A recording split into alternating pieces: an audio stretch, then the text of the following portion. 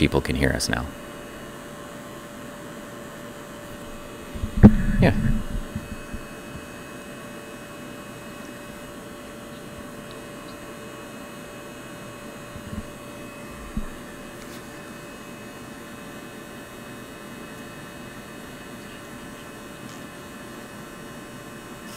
Yeah.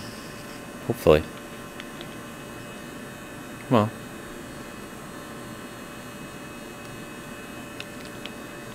I mean, it would probably be helpful not to hear myself.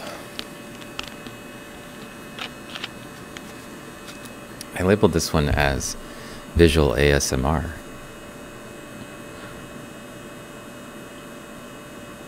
I don't know if that will if that will do anything.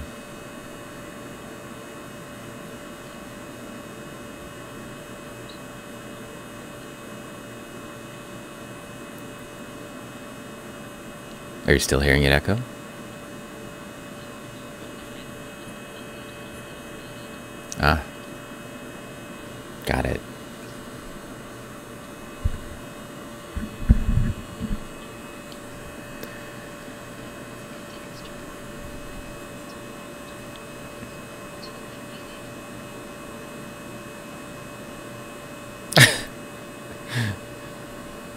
Is it the one on the browser?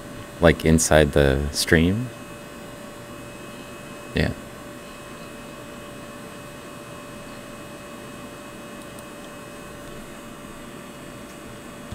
I suppose I could do the things I normally do to make the image look good now.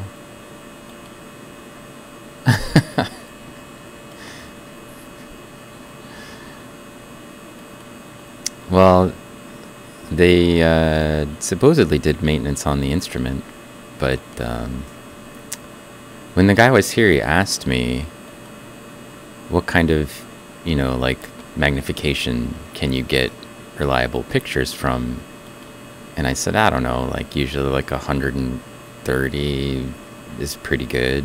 And I said, I sometimes have managed to get like 160, but I kind of have to work on it a lot. And he's like, oh, okay. I was like, what should it be? And he said, oh, uh, our standards are like 100,000. So I was like, oh, well, I mean, I can do better than 100,000, so.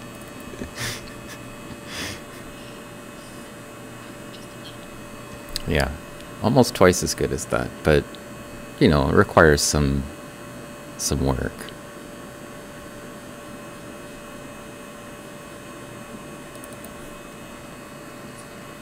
Hey, Micah.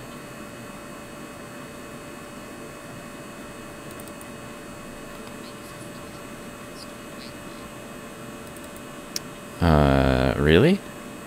That's interesting. I can't hear Pack in the stream.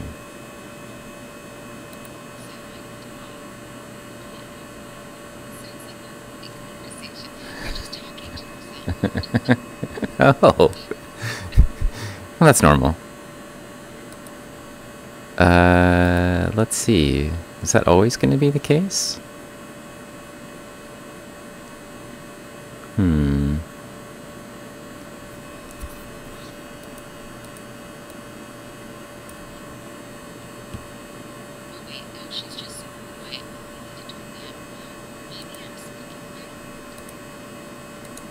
Uh, I can edit your volume.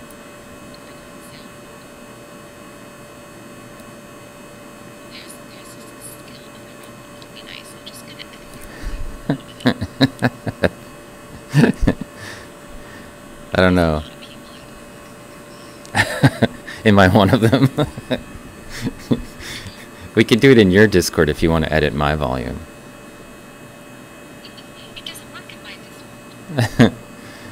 Uh, I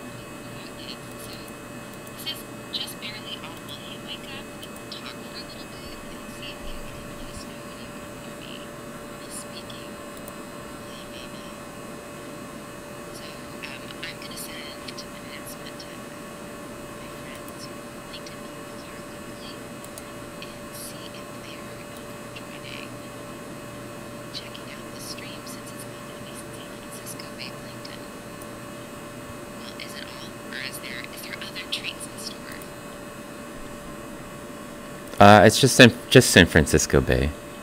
Can you still not hear her, Micah?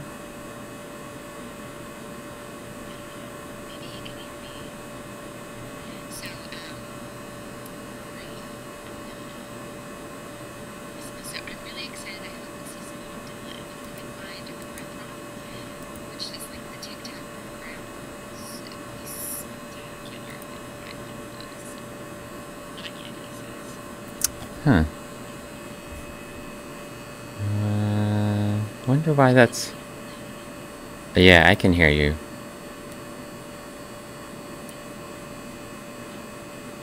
I wonder why this is the case.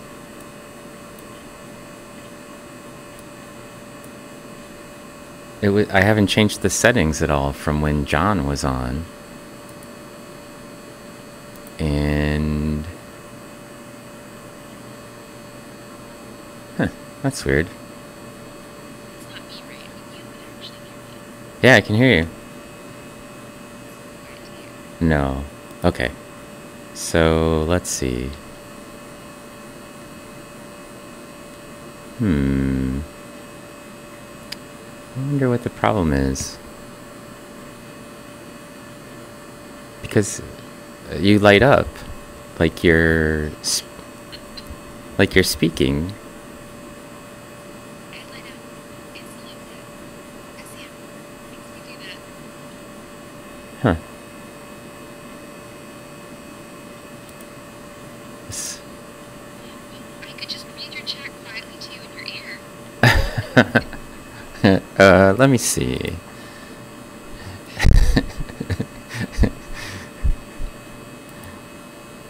that that would be kind of fun, but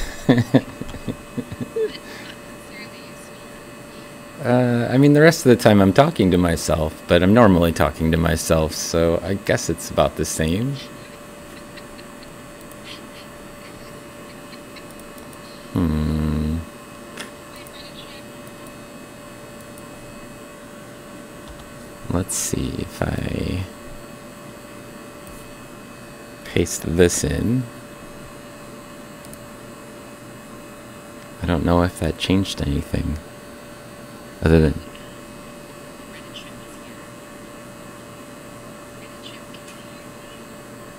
I don't think she can. Uh, let's see. Oh, I know. No? It's in the right.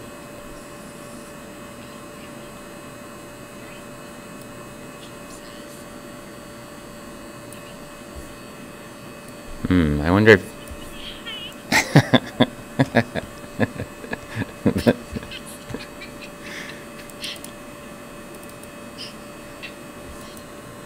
Hmm.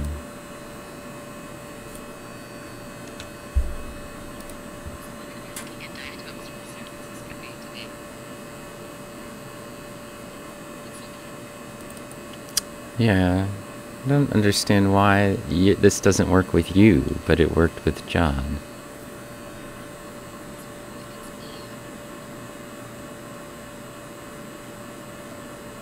Hmm. But they can hear me, which is the weird part, because I'm coming through the same app as you. So, yeah. You're a ghost.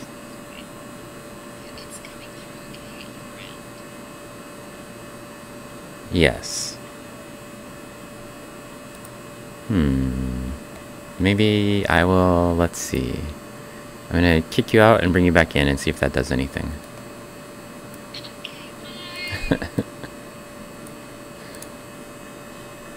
Well, first I have to figure out how to do that. Here, I can just walk away. Oh. I need you to be somewhere I can grab you. Okay, there you go.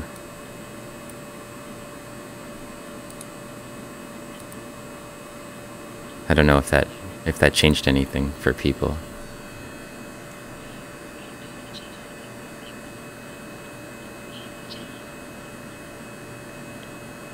Oh, yeah.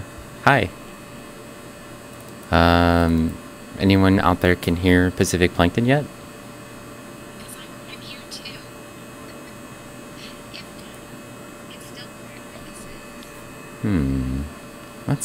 super weird. It is super weird, you know, super quiet, super weird. Why is she using? I'm not using. I'm using. I'm using a microphone and.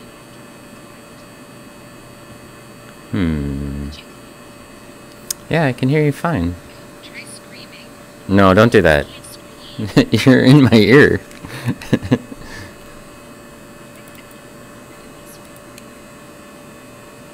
Whispering. Not screaming.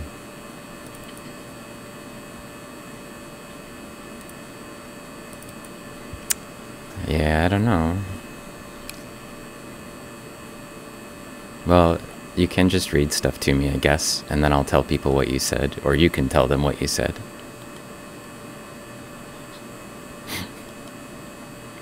You're my voice to text, or text to voice.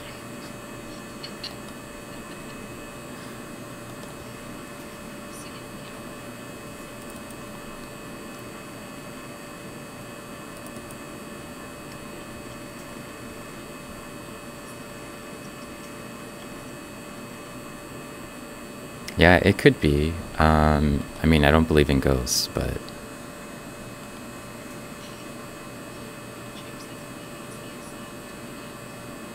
oh, I don't think it's the SEM.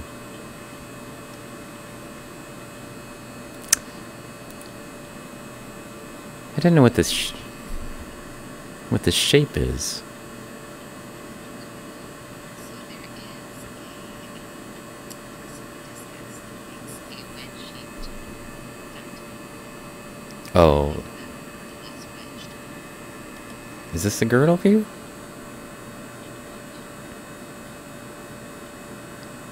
I think maybe it's just a diatom that got folded.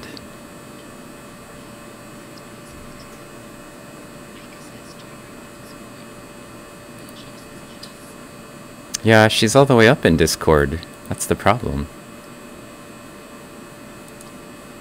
Like, her volume's all the way up in Discord. Uh. I don't know. Micah, join the Discord, and then I'll drag you in and see if you can be heard. That would be interesting.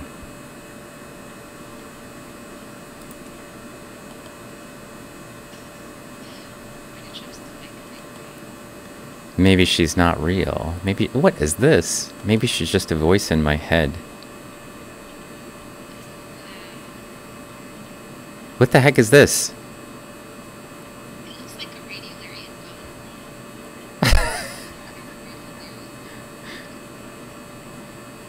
Micah's in the Discord, I think you have to find him. I do. Alright. Now what happens when Micah talks? Oh, I gotta unmute him, I forgot.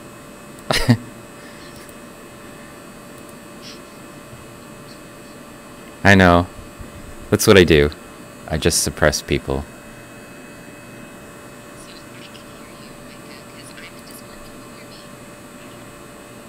Huh. You're not in my head then. Hmm. Wonder what the problem is.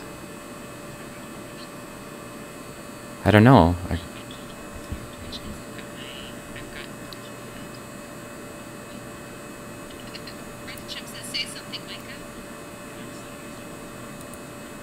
that's a bad sign.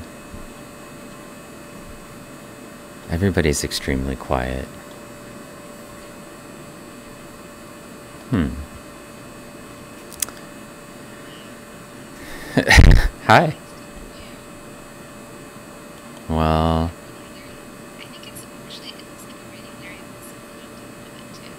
it's also there's like a, a Melosira with a donut hole in the middle. Look at that. It says this channel and opens it. Journey to the Okay. I mean, I already have a job. But okay. What are these little things on here?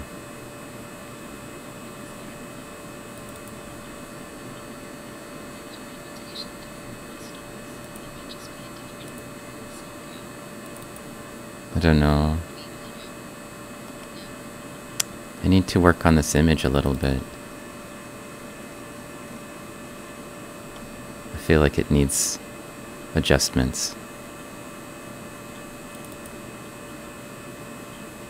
Okay. Uh, I'm gonna do some auto magic gun heating and column centering and uh, some other things I normally do. And I'm. This is interesting.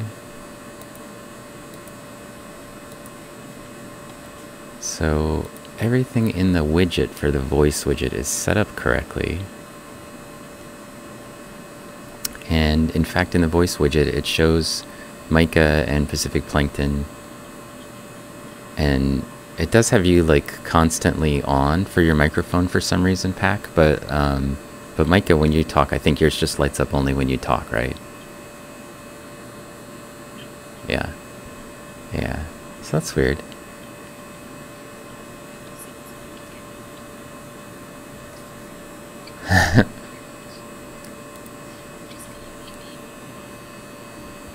Hmm. I wonder why this worked when we tried it one time and then now it's not working.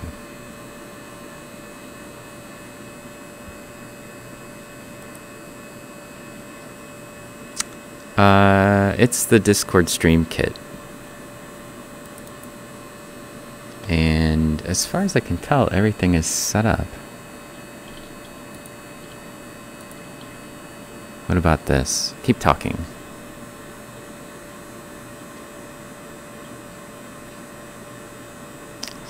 Stream kit. Because it doesn't actually show you as your voice moving when you talk.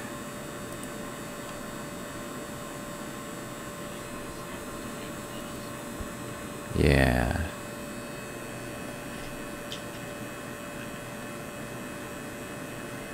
Oh, we're zoomed very close uh, last. Um, I'm just trying to get the uh, the image. We're just starting out, so I'm trying to get the image warmed up correctly.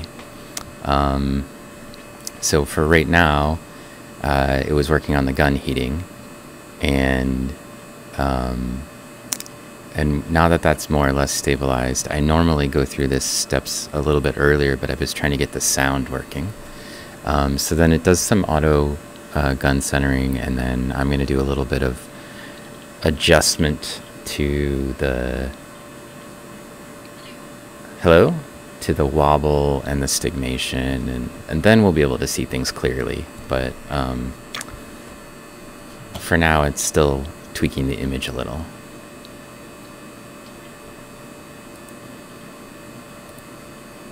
It's taking a lot of time to accomplish easy tasks.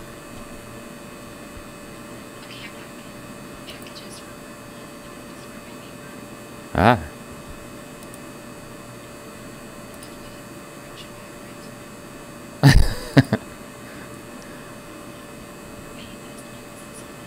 yeah. Can you give him a shout out?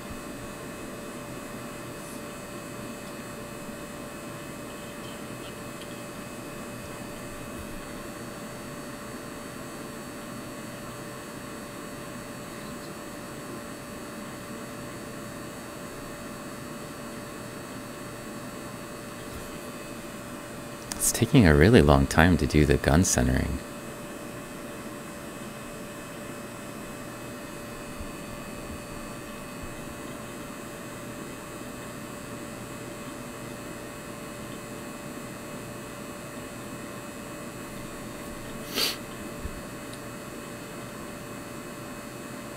Maybe he fixed it for you. You were getting too good an image, so he was like, hey, I can take care of that. Uh, he supposedly went through and did some manual adjustments to the um, to the column as well, but uh, I wouldn't think he would make it worse. I mean, they're an engineer, so I kind of feel like they should know what they're doing, but this is like super weird. Uh, let's see. Well, there's a lot of um,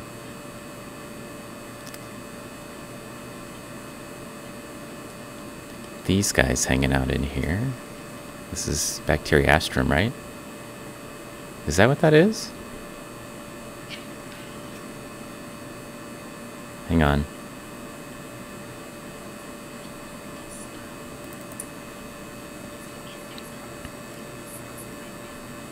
Yeah, if you look out to the edge of it, a little bit further out, like follow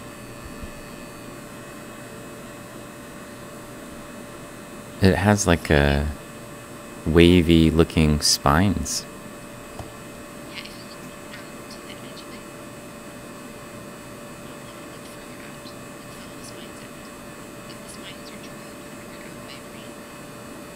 yeah, see that? This ring? I don't see a ring associated with these spines. They just go they just go out from from the middle.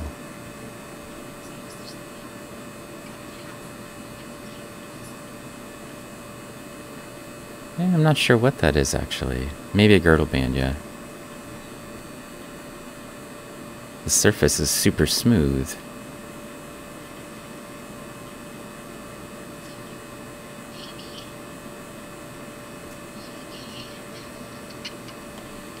Maybe it's covered. It looked like under an SEM. Yeah. Because it has the,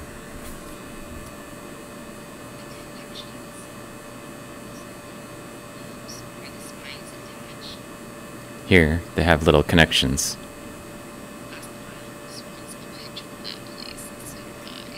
Okay. I can get a picture of it. Hang on, I still need to make some adjustments to the image though. So, I'm not happy yet. Yeah, I know. Isn't that weird?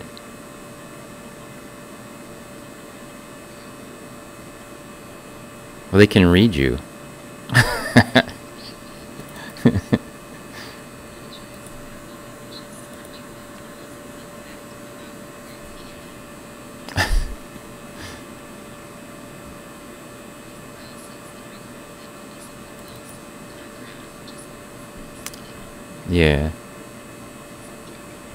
I think it probably is just something that landed on the slide, and then this is a separate thing. Um, okay, let me work on. I'm going to come back to this. I won't go very far from it, but I need to find something with some texture. Right. I need to find something with holes so I can. Uh, I'll come up to this guy here. And I can look at these um, processes on here because I need to have something to, to yeah, fix the image a little bit.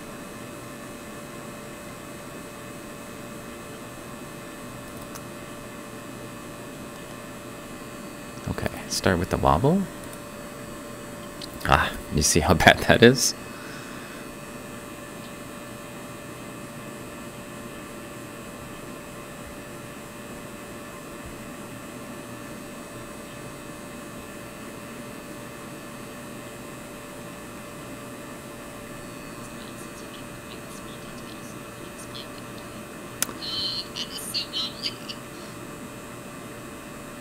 Yeah, uh, what I'm doing is trying to fix the wobble of the beam. So I'm manually centering it. And I'm actually just trying to do it in a co- very coarse fashion first because that image was very not uh, centered. Actually, it's still got a whole bunch of problems. Um, one of which is the beam intensity is too high.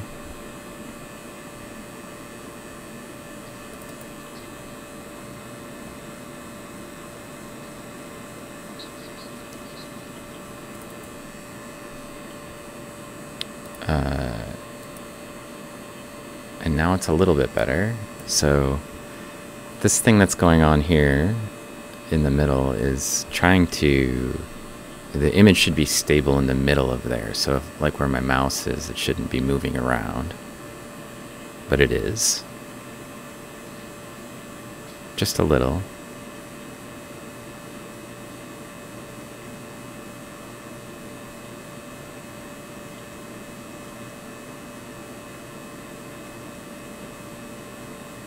The less it moves, the better. So it's still wiggling just a little, but it's way better than it was. And then, yeah, it was it was moving around quite a bit. And then I need to fix the stigmation as well. So that's this other aspect that needs to be adjusted so we can actually see something.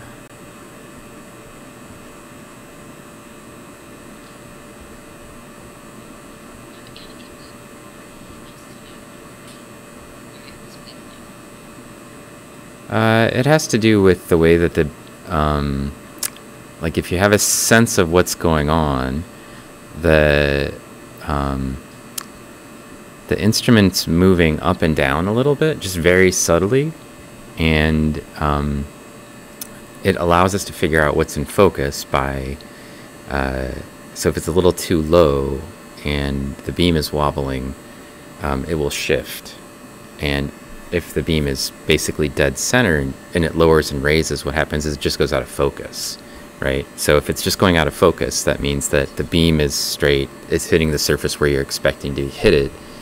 And um, so when it's wobbling, what happens is the the um, the carousel's moving up and down just a little bit, and um, and it's uh, like the beam is coming in at an angle basically, so it sort of stretches the image sideways. I have X and Y controls when I move it to actually make adjustments to it, and it's the stigmation is sort of similar. It's like focusing the beam on the spot where you want it. And it's also a little bit better than it was. It's still not great. Like that image is still not great for me. Um, but at least I can see things. So.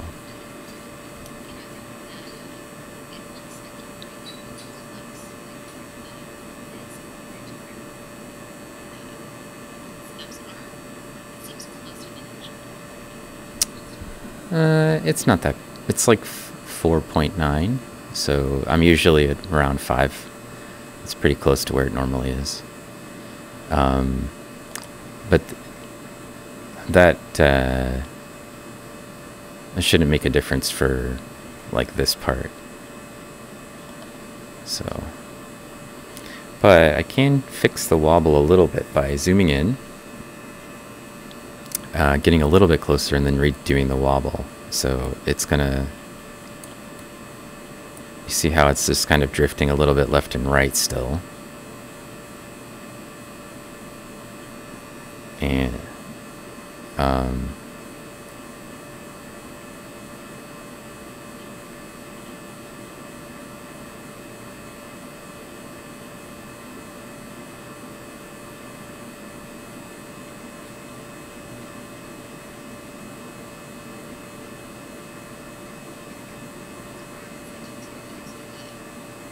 a little bit.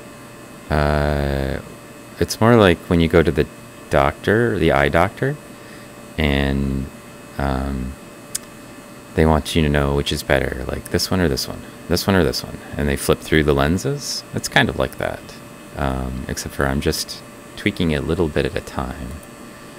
So, um, let's see how good that is how much of a difference that makes when you're there. Now you can actually start to see the structure of the um, of the actual object that I'm trying to get into perfect focus. And this is the part that usually just it takes a little while to work with the image to get it exactly where you want it. And what I'm mostly doing is looking at areas where there's high contrast. And I'm trying to make sure that that contrast is as defined as it can be. So like in here, there's these little tiny holes that are U-shaped. And um, the closer it gets to being perfect, the more clear those little holes will be. And then I can slow it down and we ought to be able to see that the surface is covered with a whole bunch of little tiny um, salt and pepper shaker heads. That's what these things are right here, the cribra. And the image is still just a little fuzzy for me, but I feel like now I'm nitpicking, right? Now I now I'm like I might take like a long time to actually get that image a little bit better than that, um, but it's pretty good. So we can leave that, and I can come back to this thing which is our object of interest, unknown object of interest.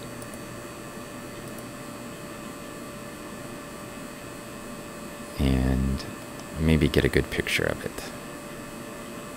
Now that we can actually see stuff.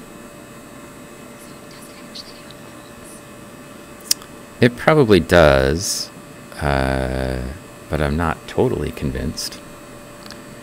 Let's see. We slow it down.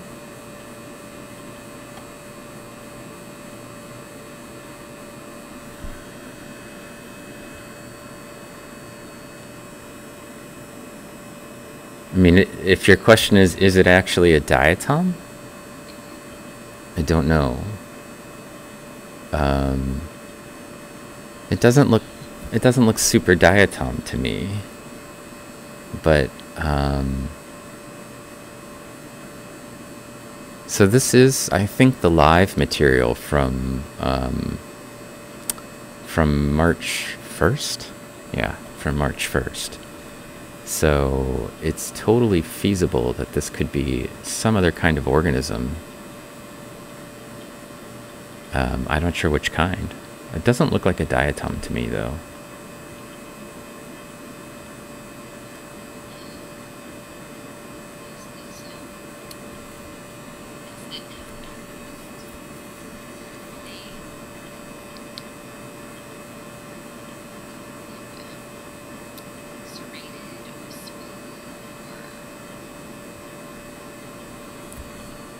These things, they look like little filaments to me. Um, they don't look like diatom pieces.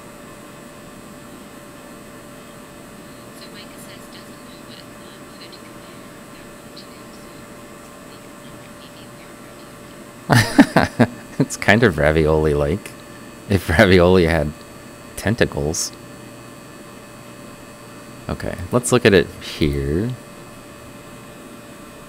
I mean, you can see diatoms have holes, right? And they're really distinct, and they have structures that you should be able to pick out. So I'm, I'm gonna guess it's not a diatom. Uh, the what is it category, I don't have an answer for, but uh, sometimes that happens. Especially in this live stuff, you know. Uh, I mean, these things look really like that's definitely not diatom looking. We're going to zoom in and look at this in a minute in here. Because it looks like it, they look like, you know, like um, distributor caps on a car. And then it's got a long cable. And then it's got this structure out here. Uh, I can see one of these things are broken right there. And another one's broken right there. They just continue, stretch out um, I don't know. Could it be one of your jellyfish?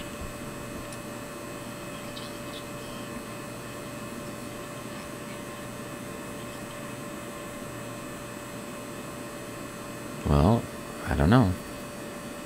I don't know what it is, but I'm going to get a picture of it, and then I'm going to zoom in and take a picture of it a little closer. Mysteries are okay. I like mysteries.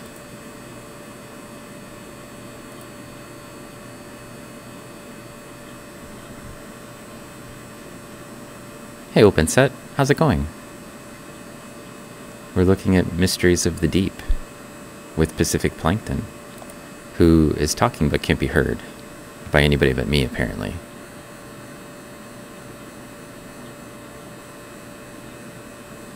Mysteries of the Shallow. Great. Hmm.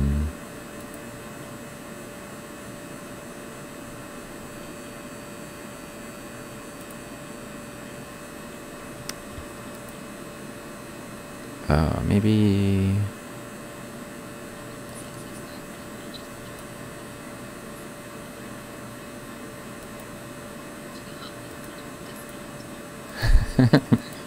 Possibly.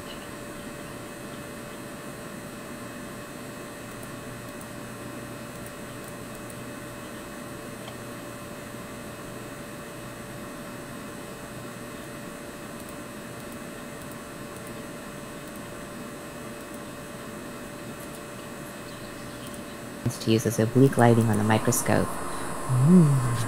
Oh, wait a second. That might have changed things for us. Maybe they can hear you now. Can you hear me now? You can hear me now? Wow! They can hear me! okay, hang on. Let me play with the settings just a little bit. You'll have So- to tell me what you did later, and then I can try it next time on mine, because that seems like a lovely solution. Hooray! Okay. Uh, keep talking.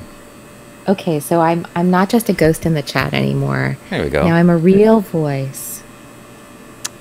yes. Hooray! Andalor can hear me. Yay! Yeah, good. Now it's not like I'm talking to myself anymore. I only seem half crazy now. Better half crazy, right? Oh, no, it's a diatom. Right here. Those are Cite. Yeah, they've got the um, the jagged Yep. kind of serration on them. Yep. So It's uh, probably bacteri- Bacteriastrum. it could be. Although honestly, I've never seen Corethron this close. That's why I was asking. But if this is the live material, it might still have, um, you know, goo Mhm. on the outside. Oh, Andalor, do you hope to inhabit a microscope in a next life? I kid, I kid.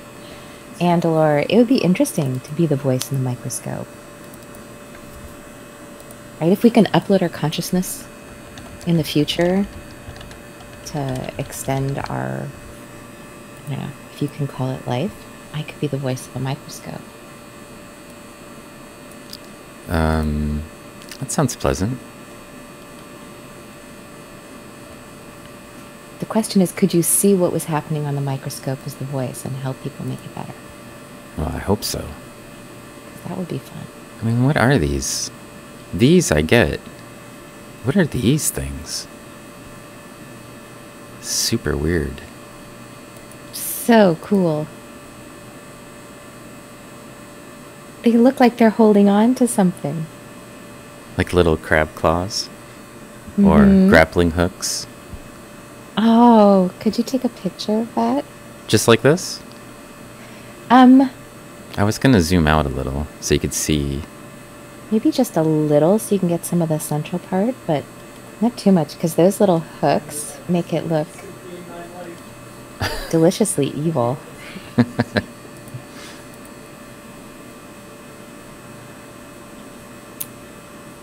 All right.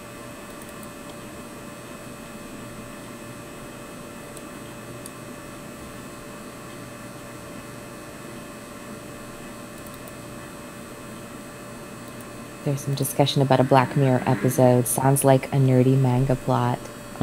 Um, there are a lot of pic. Okay, let's see.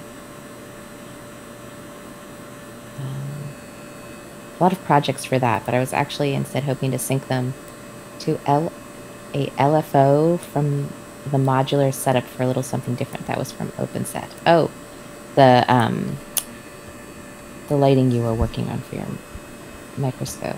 Mm.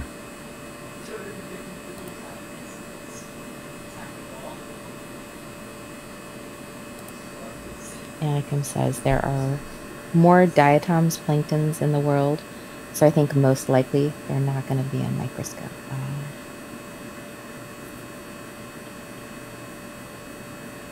what about a mobile microscope? That'd be cool. Maybe polarize only the light from the LEDs. Oh, you'd see some interesting effects. So there's cross conversation. Sorry. It's all right. Look at that.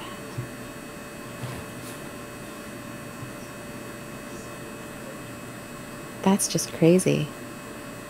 Well, crazy view is what we get all the time around here, so.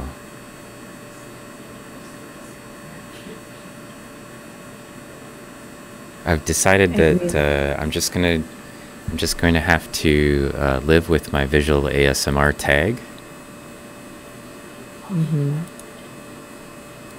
Embrace it. Embrace it, yes, exactly.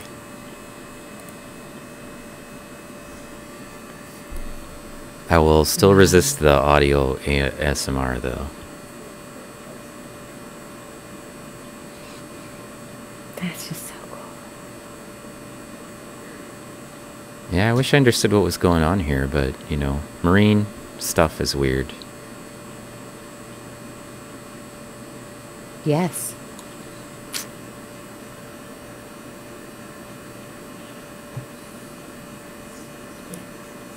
Oh, hello, Andrivan. Uh, I'm a diatom researcher, and um, I analyze diatoms for my work. But the stuff that we're doing right now is mostly for fun.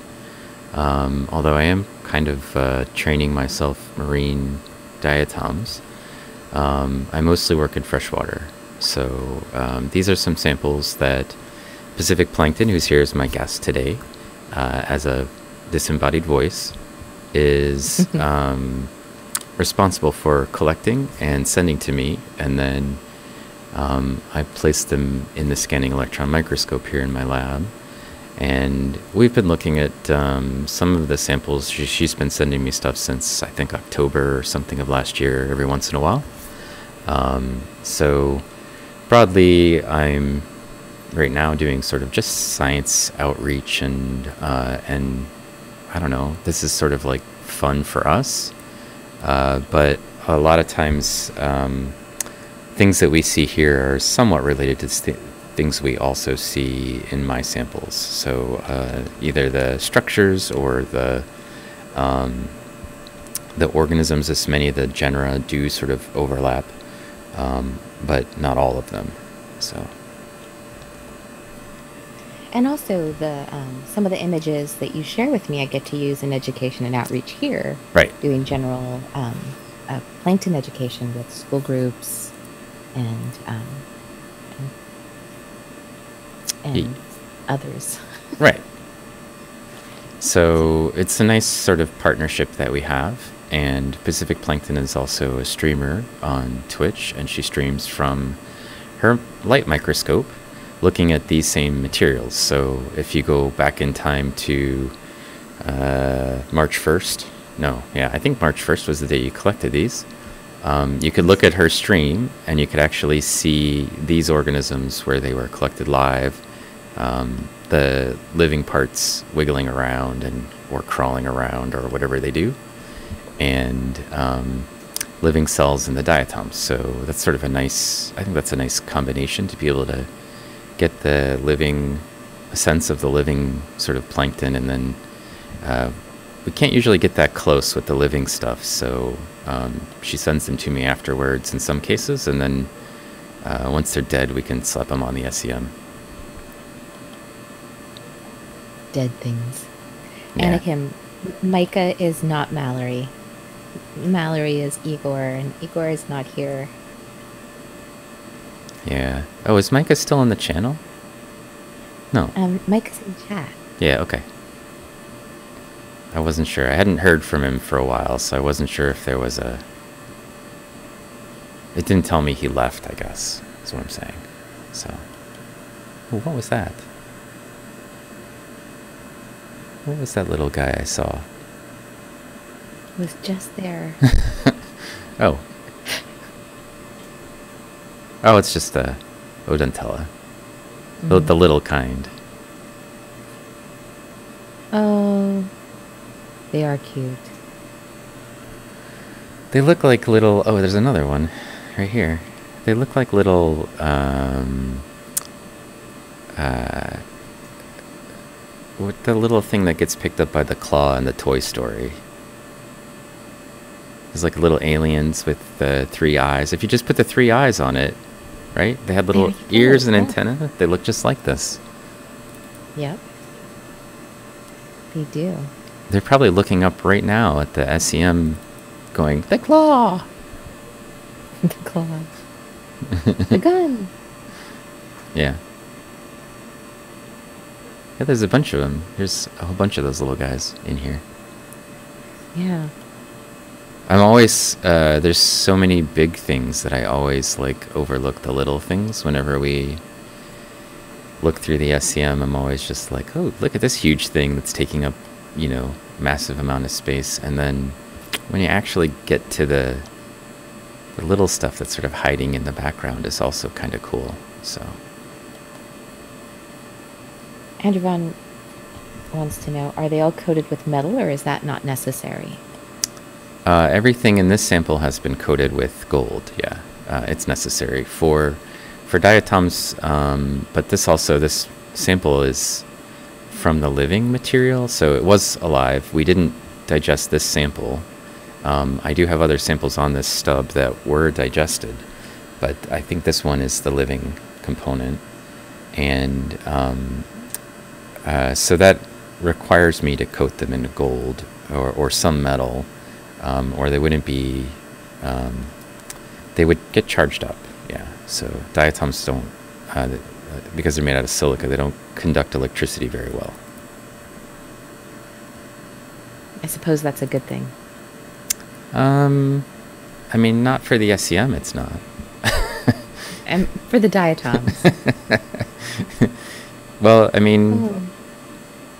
silica is what the like microchips are nested in, right? So, as an example, because it's not conductive.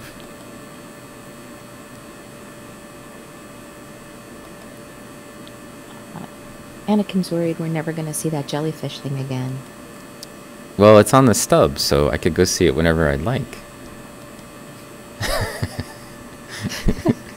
That's one of the nice You can go parts. see it. That's right. Uh, I did take pictures though, so you could see the pictures whenever you'd like as well. We might never see anything similar to it again, um, but somehow I doubt that. I feel like lots of weird things. I'll continue to get samples from Pacific probably, and then, you know, we'll see things again. We might find something else that's really cool if we keep looking.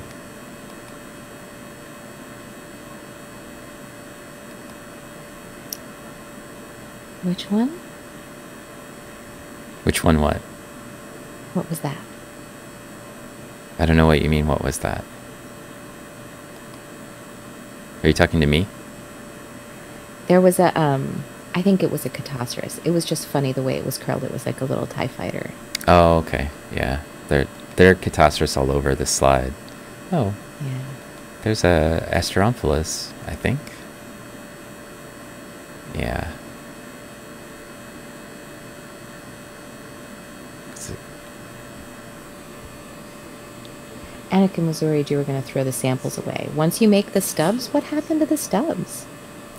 Um, there are like uh, racks of stuff behind me that are filled with our old stubs. So actually, everything that um, we've used on the SEM, we have uh, here in our archives, even ones that didn't turn out very well.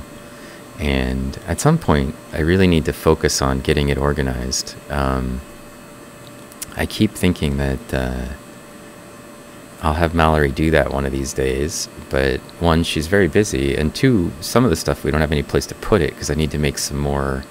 Like I use a drill bit and drill out some wood blocks and make sort of big um, storage things that we can store the stubs in.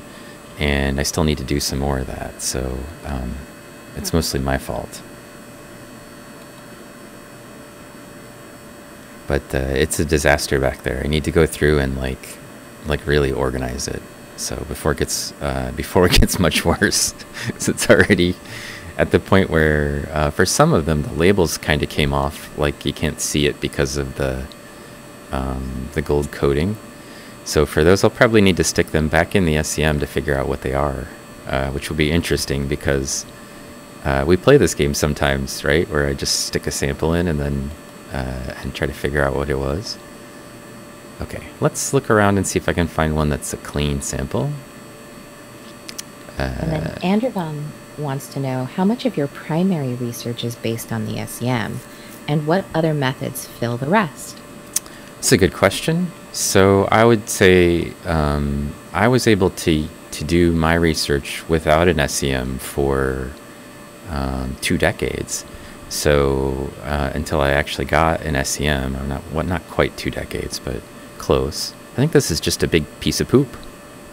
Oh, I want a picture of the poop if there's diatoms in it. Only if there's diatoms in it. Well, it's it's less exciting if there's If it's just organic debris. just yeah. Uh, I mean, that could be a diatom. Let's take a look. Uh, so I don't necessarily. Yeah, that's a piece of a diatom. I don't necessarily need to have an SEM, but I also, now that I have an SEM, can do taxonomy and answer and ask test, uh, sort of taxonomic related questions better. And um, since we got the SEM, I've described something like 15 new species, and we're working on describing another 10 or something. So um, the the access to the SEM, like regular access in my lab to an SEM, makes a huge difference with respect to like what I can do. It's not that I it's not that I can't do my work. It's like now I have two avenues of research I can explore, and um, my students as well, because I train my students how to use the SEM, um, are capable of um, engaging and um, accessing. Like you know, I'm, I'm working with Mallory to describe new species of diatoms, and this summer we're going to do a bunch of research with students on the SEM.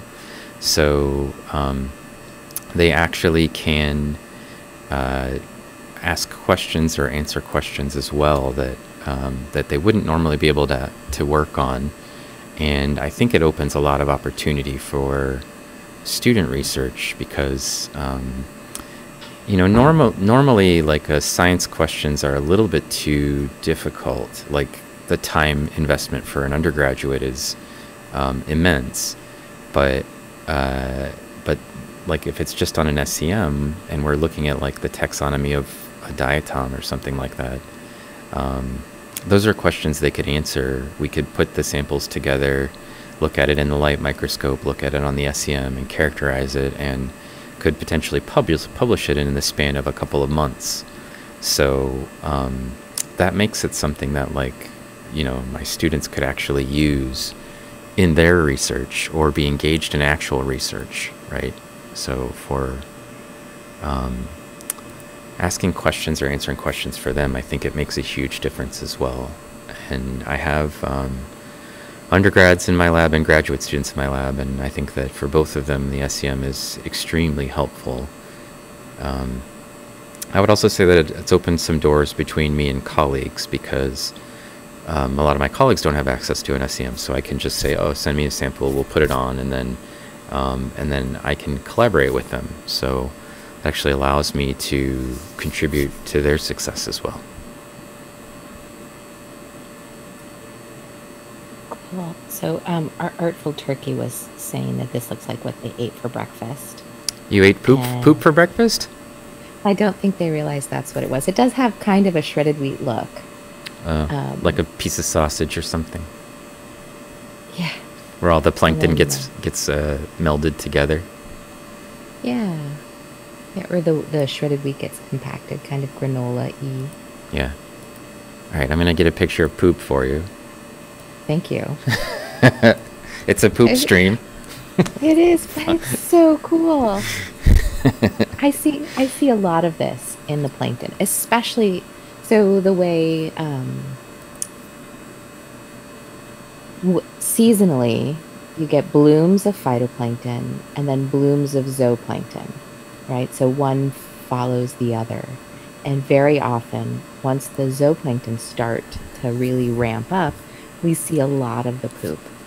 Yeah. Um, and it's it's an indicator. It's one of the things that I notice um, as it increases. It tells me about what other things are in the water. So it's actually it's really cool tool to have. This is kind of interesting to me as well because um, this particular piece of poop has gone through nitric acid. So, uh, because this is a clean sample, and Is it? I think so, and it actually sh- news, sort of shows how um, even with like pretty strong acids, uh, I mean, it was heated with nitric acid for like two hours, which would I don't know digest pretty much anything, but um, something's still holding it together, right? Uh, so uh, that aspect of it is kind of interesting to me that you know like all the orga- or most of the organic parts are gone but it's probably because the um, the acid can't penetrate as deeply into the internal parts. Um, you know if it's really compacted poop and uh, and so it's still being held together maybe uh, the outside parts all the organic material's gone. And you can see the um, the composition like that's uh, that's a little Aulacoseira valve and I'm not sure what this is but that's definitely a diatom right there um, you know you, you could actually look through the poop and maybe see what they were eating which is kind of cool Yes. I mean, and actually, scientists do that. yeah Um, not me um, not you, but other scientists do. So there was, um, let's see, there was a comment. Where was it? Where was it? Um, can we give a shout out to artful turkey by the way yes, we can. There we go. they're if you're a streamer and I don't give you a shout out, let me know because I'm. I may not know you. I think they're one of Jay Renzella's uh, collaborators. They work together, and I think they share a, a Discord together. Headshot specialist, yes, this is really poop. Would I lie about a thing like poop? There, it just says poop right on the actual label. So,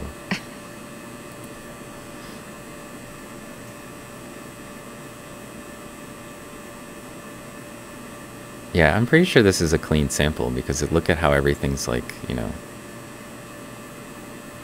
pretty clean. I don't see a bunch of gunk on everything, like usual. Yeah. Wow. Let's see. I'm going to turn up the beam intensity so I can move around a little bit faster and see things still.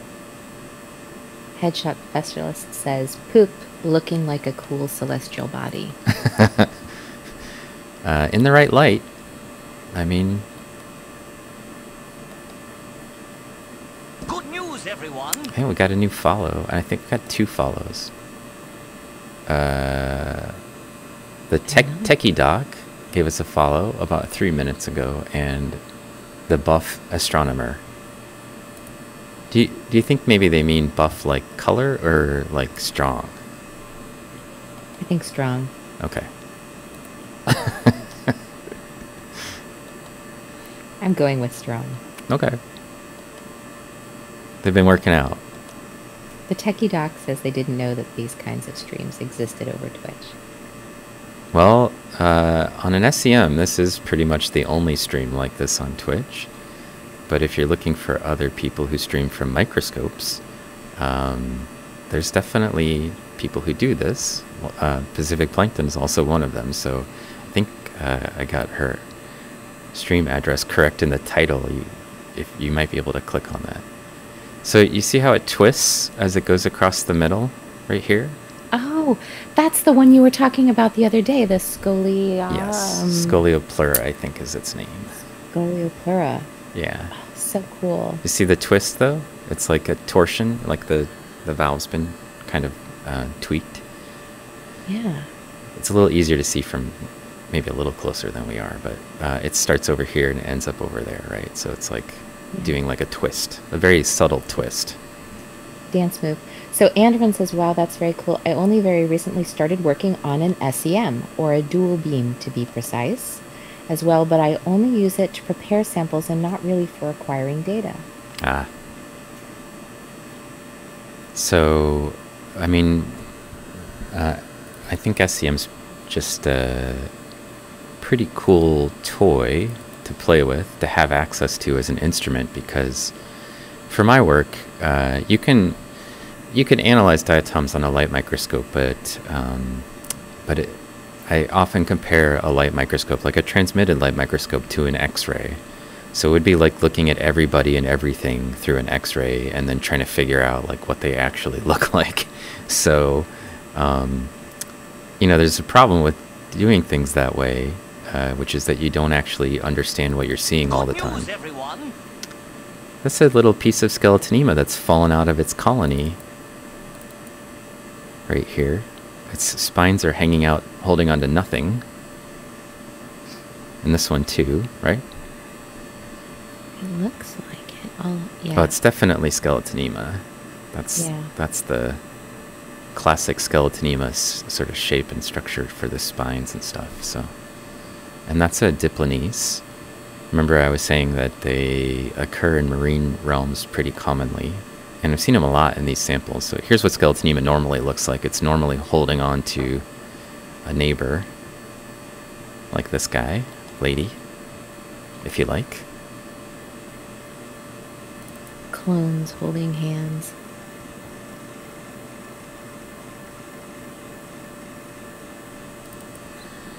So the really tiny ones are the really old skeletonema. Yeah, a lot of the ones that we see on um, on your streams are usually pretty small. Oh, what did I find?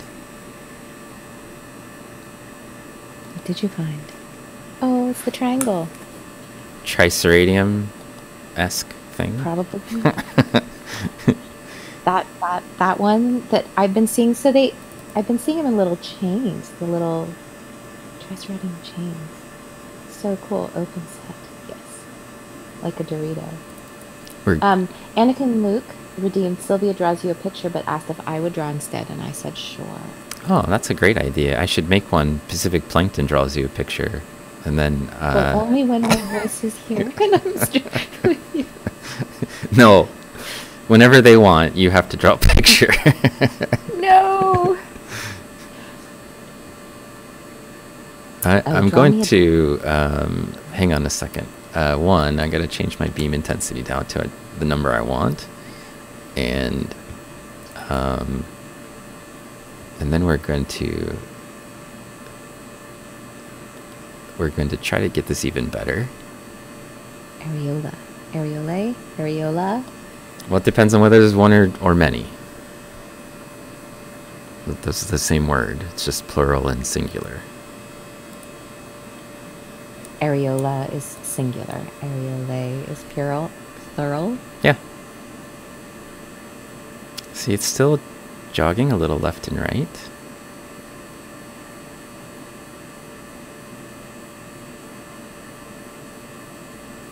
It is. Wow. I haven't seen it move that much in a long time. That's because normally it's me using it and then me using it, and I get the beam centered and the um, the wobble perfect, and then everybody lives off of my perfect beam, and they don't mess with it.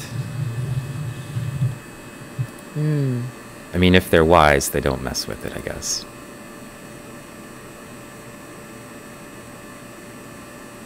Oh, Binary Split wants to know. Let's see. Do you ever overlay microscopy and SEM images to make cool dual mode images? That's a neat idea. Um, I don't, I don't know. I don't know how to do that actually, but um, I don't know if people do that. I mean, not just not me, but I've never seen anything like that. Um, so you know the images where they have like pictures from of like a road from a long time ago, and you can like drag the slider left and right across the image. Yeah, It would be neat to do that with you know live and SEM view. yeah, that would be super cool. See, this is what happens when I sit and tweak the image for a little while. That's just awesome. Those little uh, covers on the areoli are super cool. Okay, let's. Um, I'm gonna get a picture of our little Dorito. For And so those are the cribra on the inside, right? Um, So the term for those is, uh, I think those are called rota. They're, um, it depends on where the little covering is. If it's on the inside of the valve, and it's basically part of the internal sheet of silica, it's called a cribra. And if it's wedged kind of halfway between the inside and the outside, like these are, and they're attached by uh, just little bars. So like the the way that they attach, you can see that in here. There's like little tiny bars that are connecting, and then the rest of it's kind of floating out in the middle. They have different names. Um, they're called vola and rota. They have like really specific. Um, hang on. Uh, let's see if I can find it in the glossary because I sometimes forget them. Rota. Yes. A rota is a type of velum, which is what all of these things are called, consisting of one or more bars across an areole with or without a widened area in the center resembling a wheel with spokes. So I, now, my brain remembered what it was. Yeah, is that from Diatoms of North America? Could you pop the link into chat? yeah, yeah. That'd be cool. There you go. So it doesn't. They normally have a picture with the database, but they don't have little pictures. But you can see there's a whole bunch of different types of occlusions, with the, which are what they call the velum. Um, this sort of groups of occlusions. Um, cribra is from ones that are on the inside usually, uh, with like little salt and pepper shaker heads. Those are called cribra, or cribrum, uh, if it's one and vola are like a sort of different type. Anyway, I should I should provide them with some pictures because I actually am a contributor on this site, and um, they need some pictures of these things. They do. Vola does have a, a picture for Vola, and we sometimes see those, but um, they don't have one for this one. So All right. So there were a couple of other questions here. Let's see. It was um, Andravon. Um, correlative light electron microscopy is very popular in my field these days. More with TEM than SEM, though. And they say, do you study how they build these crazy structures as well? Um, I don't, um, because that is like the polymerization uh, process is sort of all biological, and I don't study like the physiognometry, the physiology of, of diatoms. I study their skeletons and use it for taxono- taxonomic purposes, which I then use for sort of ecological, paleoecological information. So I'm more interested primarily in the types of environments that a diatom lives in, and then um, link that with a species, which I then can use for looking at the skeleton through time. So, um, you know, I, I think the polymerization of silica process is really interesting, but um, a biologist, news, really a biologist, would, would be giving you that information, not me. Um, uh, I'm more of an ecologist and not really like a, a cell level biologist. If that makes any sense.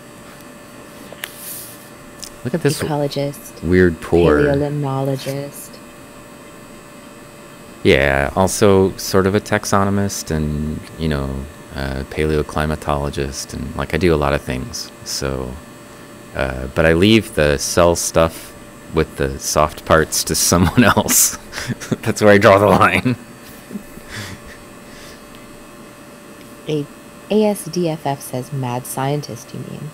A little bit uh, at times, but um, uh, I think you have to be creative to be a scientist, and it's underrated uh, with respect to what people um, think of when they think of good scientists. They usually think of people who are like logical and rigorous thinkers, but I think you actually have to be creative in order to be good at science.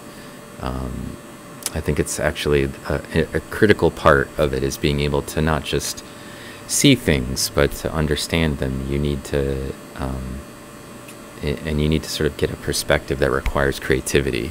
So,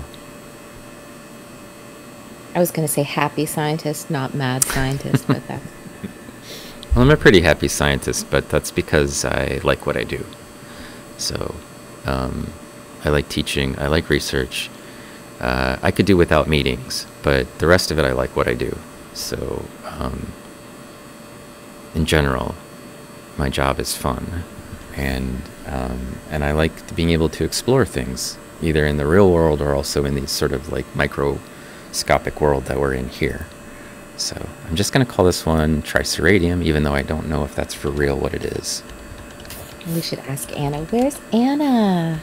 You know, I haven't seen I haven't seen her. I haven't seen her on a stream in a while, but she was messaging me yesterday. Uh, she was congratulating me for uh, getting my vaccination. So, um, so she's she's you know she's around. She's just not hasn't been on the stream. So Hmm. I feel good about the focus right now, though. I feel like I got it. Yeah. Yeah. So usually once I get it set up, uh, get the stigmation where I want it and the wobble where I want it, then uh,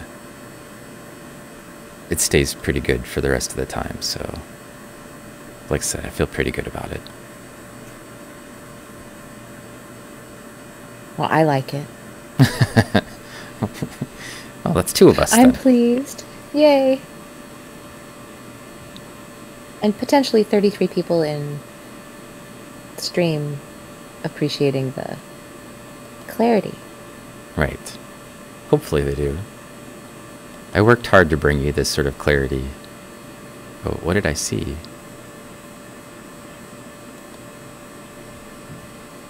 We're a little too far out for me to uh, to catch what I was looking at. No, maybe it was just some debris.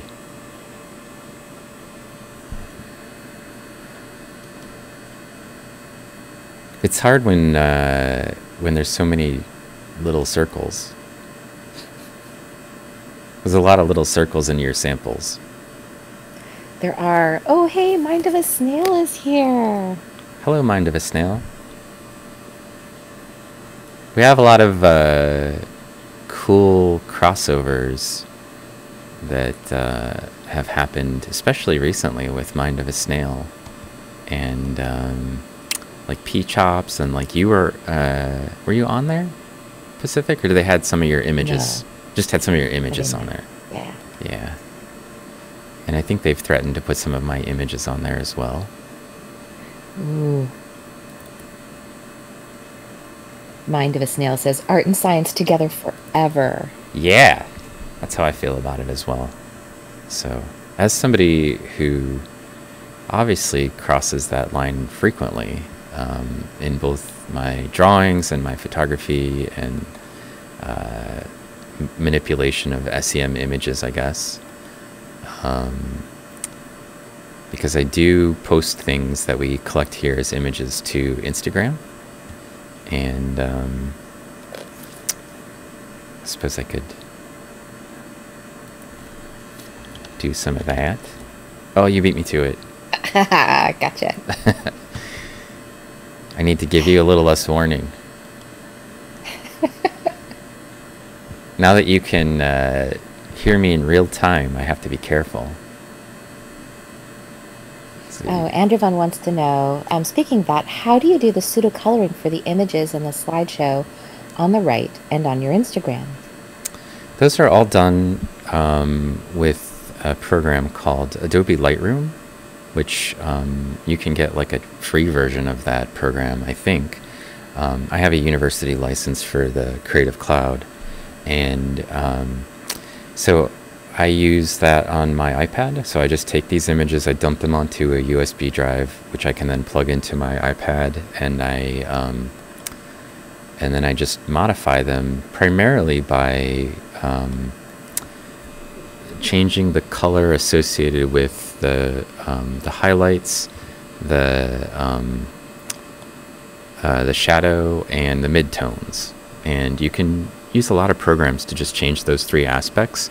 And, um, and I, I do a little bit of cleaning up the images. Um, I mess around with the contrast settings and the uh, the clarity, and um, I try to sometimes get rid of the um, the noise. The SEM's a little noisy, so like relative to an actual camera, the SCM images have a lot of grain on them, and so I usually take them into um, to at least get rid of some of the graininess in the images, and then um, and then yeah, I just sort of play with it. Uh, I don't. I I do sometimes then take those images over to um, Procreate, which is another tool that you can use with an iPad. So I have uh, you have to buy that one, but um, but and then I will sometimes like uh, select aspects to modify more directly um, using Procreate. So that's more like um, uh, sort of selecting by contrast and making adjustments to specific colors or by throwing sort of a, a gradient over top of the images. So um, it sounds like I do a lot, but it actually doesn't take very long to do. So for most images, um, because I have a photography background and I know what, and I, I've done it a lot, I know what to do. Um, the hardest part for me is sort of trying to make a diverse selection of colors that I haven't been using, like trying to change my palette because, um, you know, like I, I like the same kind of colors for different aspects of them, but I don't want it to always look like, oh, it's like this, you know, bright blue and purple and, uh, and something else kind of mixed together. So um, I have to spend a lot of time kind of futzing around with it to make it look different from the other images that I've already modified. So. Are you drawing images, or is, are you drawing for uh, for the stream? Is that what you're doing, Pack? No, no, not yet. I'm just like entranced. Sorry. I- I'm like, oh, wait, what's that? What's that? well, if you see something you want me to stop on, just let me know. No, I'm I'm just enjoying it so much. That's Bacteriastrum. That's Yeah. what it looks like. Yeah, that one's for And sure. it's not an yeah, it's not an end. So their end um, valve of the chain looks different. It usually doesn't have the branching quite the same way on the setae. It also has some sort of a structure here. Ooh, I don't know what those are. little newts. Uh, maybe the connecting spines, because they make Huh. colonies, and I couldn't figure out like how the colony was being held together. Uh, but maybe those are the little spines that they use to hang on with. Maybe they just hold on through organic processes. So it's just glue, like Yeah. diatom glue. Yeah, the normal sort of diatom glue.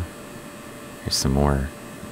There's a whole bunch of Bacteriastrum in these samples. There's a couple of them together right there.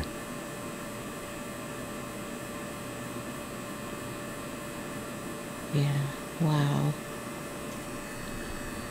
They make just like a mess when there's a whole bunch of them. They look cool when there's one. When they're all together, it looks like uh, bramble or something. Just like a Yeah. mess. Yeah. It looks like that in the light microscope too, because lots of stuff gets stuck Yeah. in those branching setae. yeah.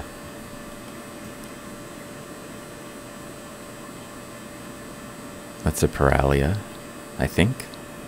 Not positive though. Huh. Those, uh, you know, barrel shaped things, there's a lot of them in your samples as well. So, Yeah. could be something else. That's Paralia for I- sure, right there. Yeah, I think of Paralia as more of having like a weird See, I think that's Ellerbeckia, no? That's Paralia? Yeah, that's Paralia. They have like these Colosseum-like structure. Ah.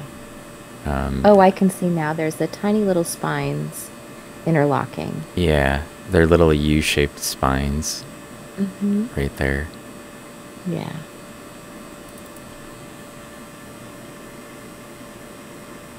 There. I'm gonna get it in focus one of these days.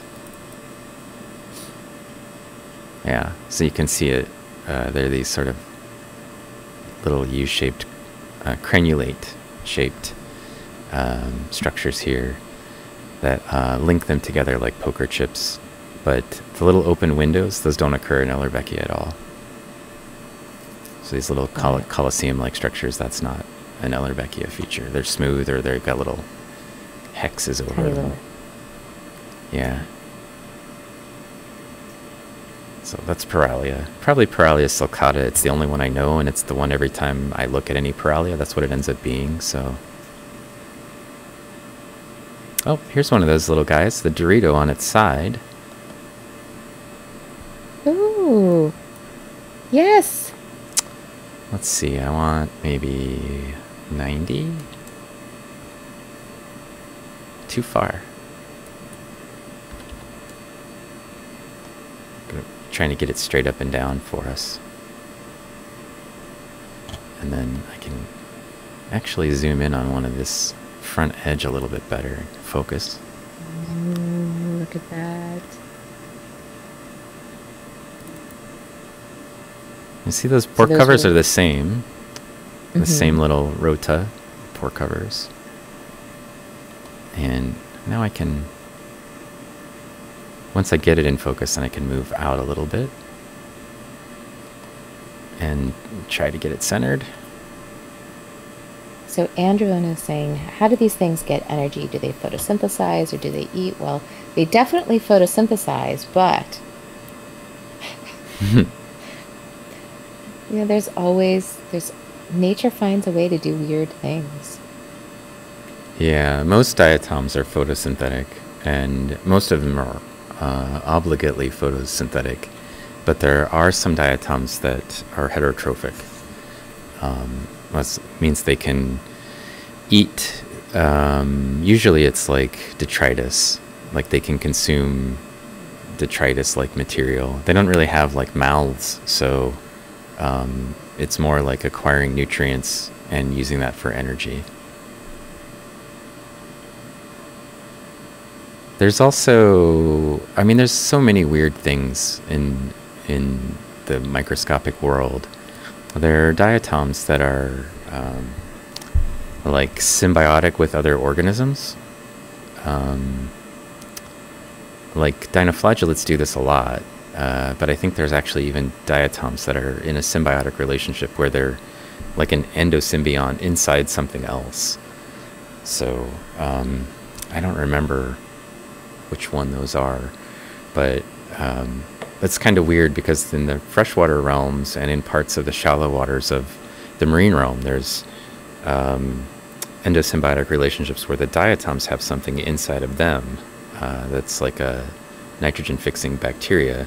So all of the epithemia, Rhopalodia group are like this. They have like specialized, I don't know, prison cells where they keep the cyanobacteria as prisoners uh, that work for them, and uh, and then there's diatoms that are actually that same in that same setting uh, in a larger organism in some larger organisms, which is super weird to me.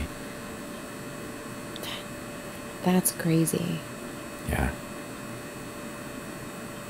It's like when Goofy has a dog and the dog is Pluto, and you're like, what? But Goof- Goofy's a dog, and he's got a dog as a pet? Prison cells, says Andalore. And Andrew says, well, I mean, we humans do that too. Unfortunately. Ah, that is such a beautiful picture. Oh my gosh. I do my best. It's quite small too. What's the size on? I can't see the size right now. 10 microns is the scale bar, and the total width is 38 microns. So that's the Yeah. height, also the height in this case. Yeah. because normally I can just see them and know what they are, but I can't really resolve them, especially when they're alive. They're they're like little fuzzy green news, triangle like shapes. Wow.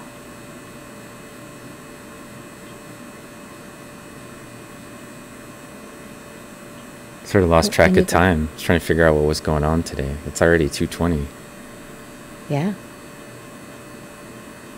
It's almost noon for you. it is. My coffee's gone cold, but that's okay.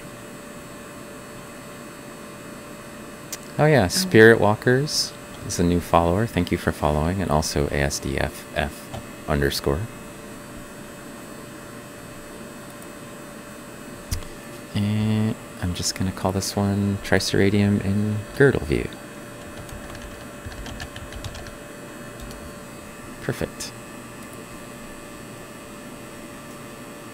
So, Anna wants to know. Good news. Um, Anna wants to know what material you look at. So right now this is diatoms from San Francisco Bay.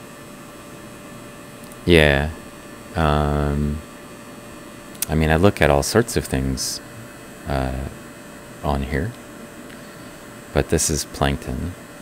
Um, a lot of times I'm looking at sediment core samples, so we're looking at material that have been fossilized and sort of stored in the earth for centuries or sometimes millions of years.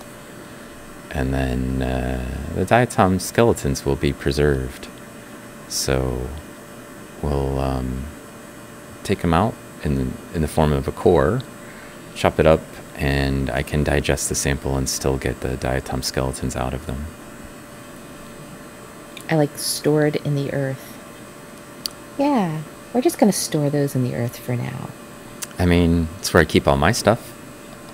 Stored in the earth. Well, more or less on the earth, I guess.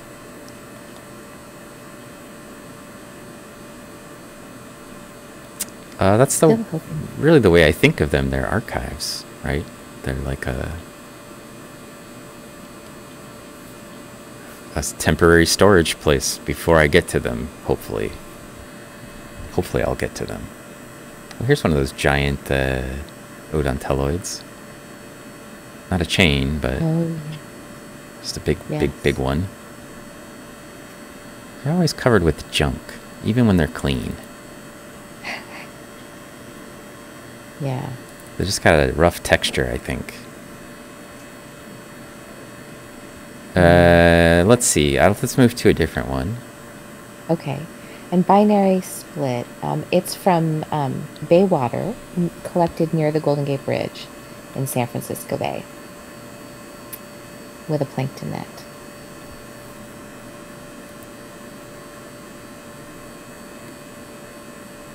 It was only a couple tablespoons of liquid with diatoms in it. Chaetoceros everywhere, as usual. Yeah. Seasonal. Look at all the girdle bands, Hey, too. Maori Souri.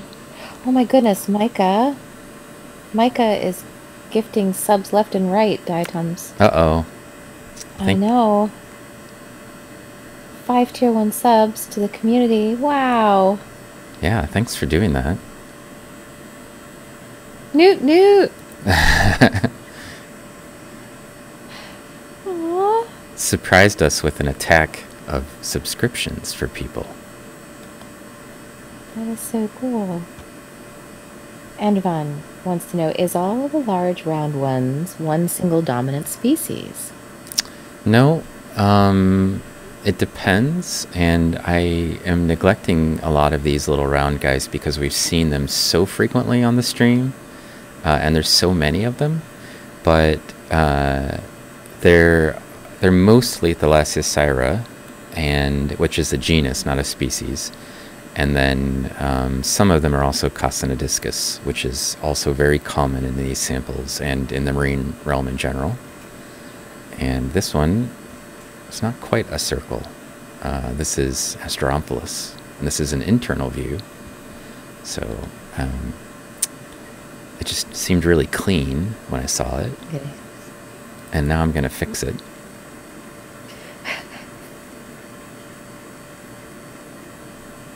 So the image is clear. Oh, look at that. And then we'll move back out.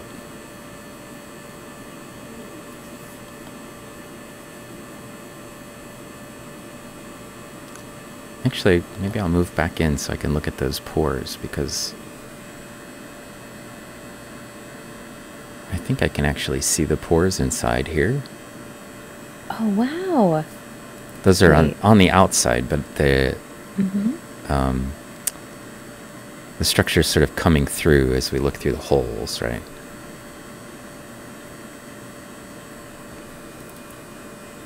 It's a little dark. It is. Uh, I mean, I could fix that if I did something like this, and then this, and then this.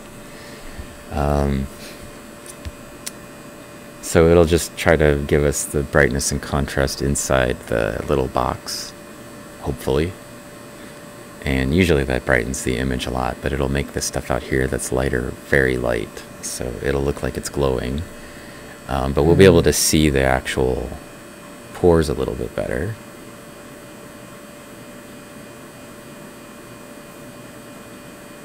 Ah, there we go. I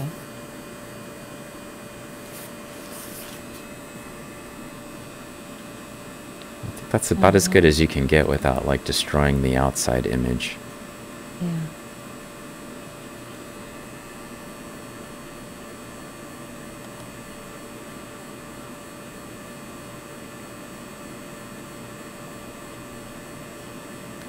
These have always been one of my favorite marine diatoms, and they still are. They're just so interesting looking. They're lumpy and slightly asymmetric, and I don't know, they just have like a weird. You know, this sort of star shape is really kind of interesting.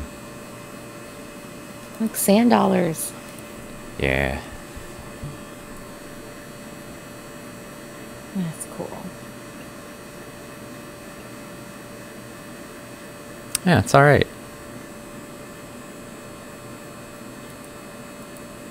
Now you have a T-shirt like that, or a uh, one of those images on your Redbubble. Yeah. If you really like it, you can check it out there. the um, the image that I used to draw them from, that I used as a reference, uh, had junk over a lot of the middle part of it, and so I had to sort of just like guess what it looked like under the junk. uh, Interpret. well, we were seeing them very rarely uh, at the time, and in Yeah. the samples, and so I didn't have any really good pictures of it, um, where everything was clear, you know. So it was like, uh, kind of like the lower part down here was all junked over with stuff in the picture that I had, and so um, I just sort of used what was there on the other side to kind of predict what was going on on this side, but was less than perfect as a result. I felt so. Still looks pretty good, but could have been a little bit better. Looks really, looks really good. Mind of a Snail says yes. Related to sand dollars? Question mark. So gorgeous. So they are not related to sand dollars in the sense that they're a single-celled algae and a sand dollar is an animal. But I suppose we're all related when it comes down to it. We're all fish. if you go, if you go, well, if you go back far enough, we're even, you know, less than fish, more than fish. Which way? Less than, more than, Uh, equal to, equal to. yeah. So Andravon wants to know. It says you mentioned earlier that you routinely describe new species. What do you typically name them after? Um, I try to name them if I can. Um, I have sort of like uh, priorities, and if it's something that's really old that nobody is likely going news, to everyone. to regularly see unless they're looking in the fossil record, I tend to name those after people. um, people who are scientists who are working in that area that um, are linked with the site somehow potentially, or who had worked in there before I got there, or something like that. Because um, my my higher priority, if it was like a modern species, something that people see regularly, is to name it after the shape that it has, rather than after a person. And the reason that I do that is because I want it to be something that you will remember the name because of what it looks like. So, um, you know, we named something after sunflowers because it looked like a sunflower, for example, or um, uh, some characteristic about it that is very distinct. So, um, if I can't do that, I will sometimes name it after a place so if it's um, if it's an endemic species or we think it's an endemic species, I try to name it after the site where we found it. And I try not to do that unless I think it's an endemic species that we wouldn't see elsewhere. So then you would link the name together with the place, right? So like my strategy is based on trying to think about like um, how are people going to remember this name and how can I name it something that will like stick the best um, with that organism. So, uh, sort of that's sort of my priority. So I start with like, does it have a characteristic shape or appearance? And I try to use the Latin expression for whatever that is. And then if I can't do that, then I'll name it after the place. And then, like worst case scenario, I'll name it after a person. So, um, for modern stuff, for ancient stuff, it's usually the reverse. It's usually like um, people first, um, because I feel like it's uh, it's an uh, sometimes it's honor it's an honor to work at a site where somebody else has already done a bunch of work like that. Um, and i like to particularly do it if it's like somebody who whose papers i read a lot on that particular topic or site or whatever or they're like like we named one after um, uh, david Jewson because he uh, helped me understand Aulacoseira, so we wanted to name an Aulacoseira after him. In part because I was a little confused why he didn't already have something named after him. Um, you know, he had I don't think he had any diatoms named after him, but he's been in the field for, you know, 50 years doing incredible work. So, it, you know, those people I try to just sort of pick out and um, and honor them with some sort of a just sort of a name but you can name it after whatever you want. Um, you you have the freedom. Mind of a snail. Yeah, Mind of a snail wants to know: Did you name one after yourself? Sorry. That's the one thing you actually can't do um, in the taxonomic literature for uh, for plants, which is where the diatoms are dumped. Uh, we follow the botanical um, taxonomic code. You cannot name it after yourself and um, I would actually argue that I wouldn't name it after myself anyway. Um, that's actually the thing that I'm least interested in doing. Um, and part of the reason for that is uh, it's cute to name something after yourself or whatever, I suppose. But um, I feel like that's like nominating yourself for an award. You know what I mean? Like, um, if you really deserved it, somebody else would name something after you. You wouldn't have to name it after yourself. So um, I aspire to be worthy of having something named after me, but I I don't want to be the person who does that. So, if that makes any sense, um, that's just the way I view. You know, there's enough people out there naming diatoms that I'm sure eventually somebody will find what I do valuable enough to name something after me. But it, it, I don't want it to be me. So.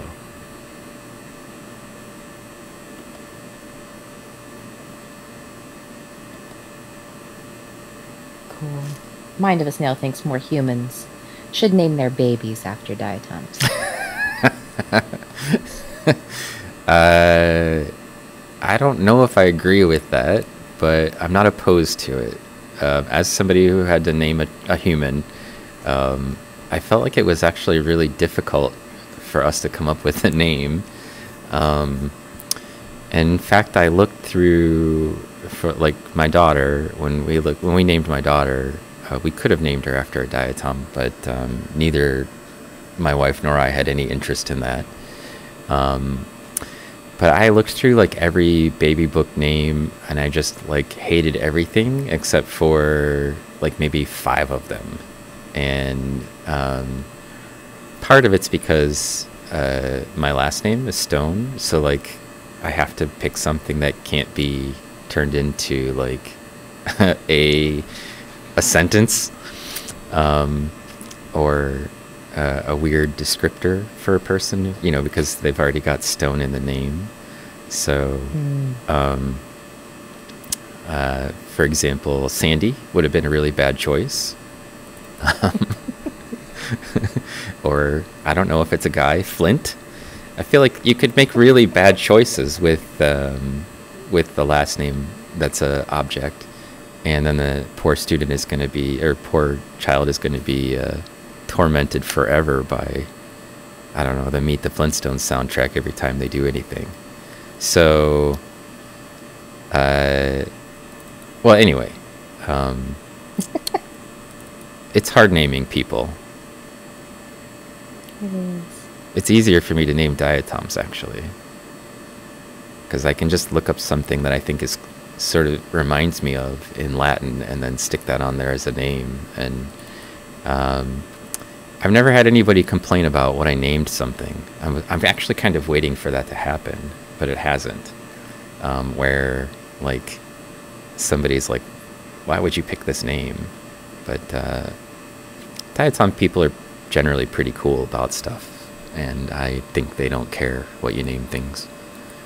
So, there's some pretty funny names in our in the diatom world. Funny? Yeah, like the name of the See, diatom is pretty funny. Like what? What's a funny diatom name? Now I need to know. Uh, maybe I'll find some for you, uh, off, uh, and then maybe we'll I'll share those with you. Uh, you're streaming on Monday, right? Yes. So maybe I'll show up and uh, give you some of those on Monday. Um, but uh, this guy David Jewson that I was talking about earlier, he named a diatom like Comica as the last name, uh, as the species name. I mean, um, because it looked like uh, a person with their mouth open, like they were laughing. Um, just as an example, like you can you can Oh. name it whatever you want. Uh, they but they picked that name because it it's sort of like they thought it looked like a, a face, right? Um, Oh, wow. But th- there's some that are actually pretty funny. So if you know the backstories, um, but there's a lot of diatoms that are named like um, uh, inconspicua or uh, like names where they clearly were unhappy with the diatom that they found, which I'll try to give you some examples of on Monday. I don't want to spoil them, but Okay, okay. Andrew Vun was saying something in chat. In the gene world, there's very funny ones out there, like brunch pilot, brunch uh, violet. which is a German word for crash pilot. okay. And the gene was found in flies who kept crashing, caused by neurological defects. Perfect. See? I would like to pilot some brunch right about now into my mouth. Oh no! You didn't eat lunch? Well, I couldn't have because the stream started at noon, and I have to. I mean, it started at one, and I have to get in, uh, you know, by noon if I want to stream. I've got to set stuff up. I have to apparently poorly set up the Discord uh, channeling at least once. So uh, we're currently looking, by the way, at the external view of a Coscinodiscus, um, one of the round guys, and uh, I just really like this uh, crazy polygonal pattern with the little circles in the middle, and um, you can actually see underneath, like inside, um, in here. So these are the um, an external layer of silica. You can actually see the basal silica layer, which is this one that's in here. Um, inside that little hole, there's another opening. So it's like there's a hole, and then in like kind of a chamber, and then another hole. And if we were looking at the inside of this diatom, uh, which I think this is perforatus, Uh, These would be the rimoportula. These are the rimoportula openings on the valve face. And there would be a cribra on the inside as well. So um, there's another layer of silica with a different type of um, occlusion over it. Wow. But you can see the basal siliceous layer down here, like inside. You can see those little openings that are like inside of the holes. And then the outer layer, which is this one, the secondary layer. It's just so beautiful. Well, I figured since I stuck us in the visual ASMR tag today that I should probably do some images that are kind of visual ASMR, like this one. I mean, I think all diatoms are kind of visually stunning at this scale. Hey, Mama Bonbon's here. Hello. Did I miss you before?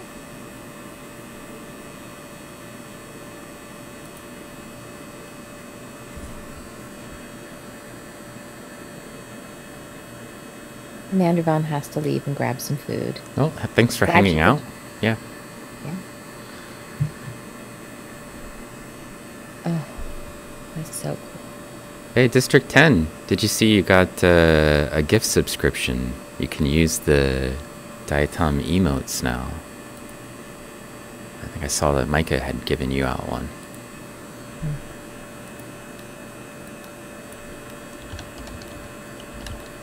And you can use channel points to modify them.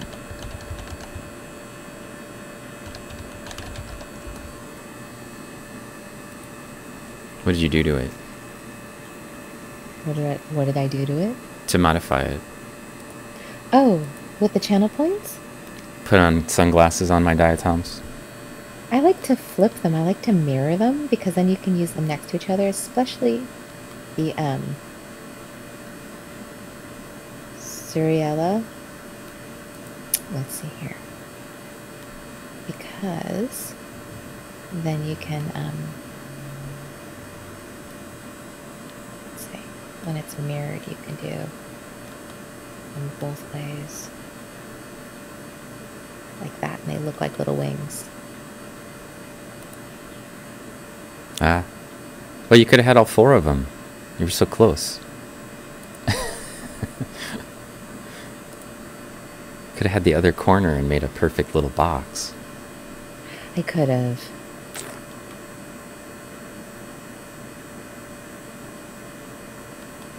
Still no, no Corethron, huh? I'm not seeing any. Man. Boozy. Well, see, silly question. Just arrived. What are those perfect circles? perfect circles are diatoms. We're looking at diatoms from the plankton of San Francisco Bay, which are samples that were collected by Pacific Plankton, who's also here as a disembodied voice. Hello. Which is better than earlier when she was here, but as a disembodied voice in my head and not for everybody else. It's the ghost in the plankton. yeah. Otherwise known as the text to chat. Right. Or voice to text. Text to voice. I'll get it eventually. Well, I greatly prefer the version where people can hear you besides just me. So. Ooh, what's Glad this? to be heard. Ooh. Uh huh. Pleurosigma. Is Is- it does it have a decussate pattern? It does. You want to see it? No, it's okay. We can I want to find Corethron. I really do. It'd be so cool. Um. Well, it should be in here somewhere. How frequent? How frequently did it occur in the sample that you sent me? That's a good question. So I was I would find it on at least once on each slide of um, live material. Hmm. So not that frequently, but more frequently than something crazy like um, Arachnodiscus. Well, I haven't seen any Arachnodiscus, so I know. I think they would be obvious in the SEM. I mean, I've seen them in the SEM before as fragments, but um, but I think they would stand out in this set of round things. Oh, it's an external view of Asteropolis. Actinoptychus. Uh, Oh, also, there was also an Actinoptychus, but that one was Asteropolis. The A diatoms. There's a bunch of them.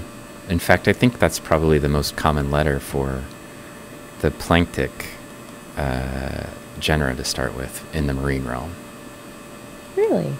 Yeah, there's like Oliscus and Aulacoseira and uh, like uh, there's there's a whole bunch of them.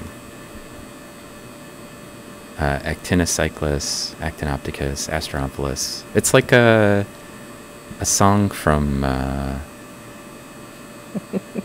what are those uh, Tiny Toons? Did you watch Tiny Toons? I don't think I watched Tiny Toons. Oh, I think you missed out. That's actually a pretty good show.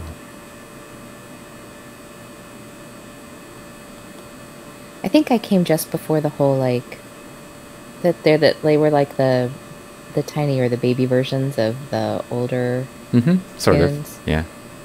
yeah I, I I was in on the when they were just tunes Oh, I era mean, so was I. and not the and not the like the tiny tiny versions where they like babyfied babyified everything well, I had a um, I had a roommate in college who liked cartoons. Like, you know, all the time would watch cartoons. So uh, I watched them because I was forced to. you were forced to Well, I guess I could have left the room. yeah.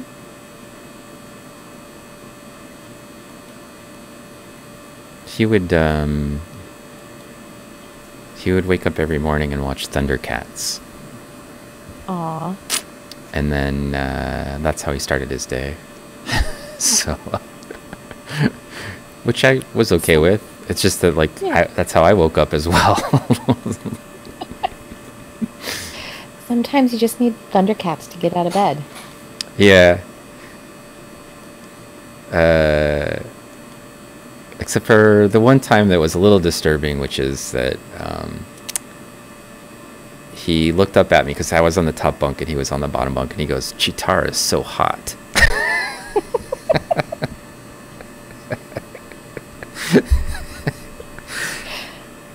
Uh huh. Hard to take him serious after that. Okay, uh, let's move over to another stub and see if we can find magical, uh, mysterious missing minion diatom. Oh, there's, Yeah. there's another little triangle guy. I'm doing a good job finding the little triangle guys. Now we got an inside view. An inside view. Yeah. I don't think we've had an inside view yet. No, we haven't. Ooh. Ooh. See, I'm doing a great job of finding trace Triceratium. If I do say so. You, you well, you're doing a brilliant job of it. It's got the um. There's like a, a rib holding, kind of going across this Oh, corner the- tips. Yeah. Because we can kind of see that through the um, the external view. You can. Uh, and then these things, probably not Mm. obvious to you, but those are Rimoportula, for sure. Near the mouth. Yeah, they got a little mouth on them. Got a pretty mouth on them. It does. Can you take a picture Of just this, or of the whole thing? of the whole thing? Yes, I was planning to do that. Thank you. I don't know. I thought maybe I could get that in a little bit better, but I don't think I can. This I can, though. That looks okay.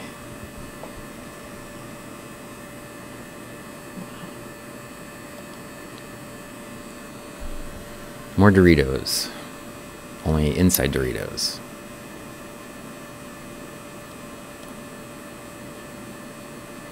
It looks very architectural, the inside.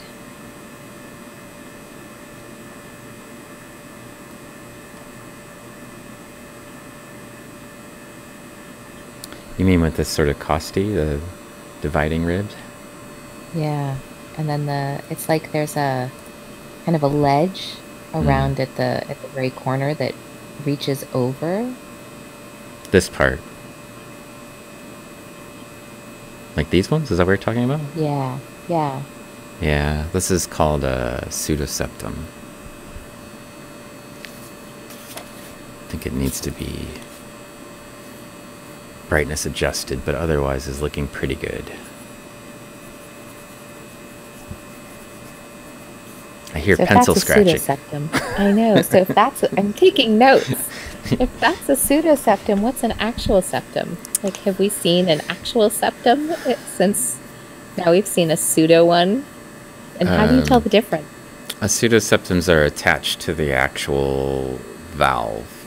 Good news, everyone. the the valve um, so on either end of the diatom is the valve right? So in between is girdle bands.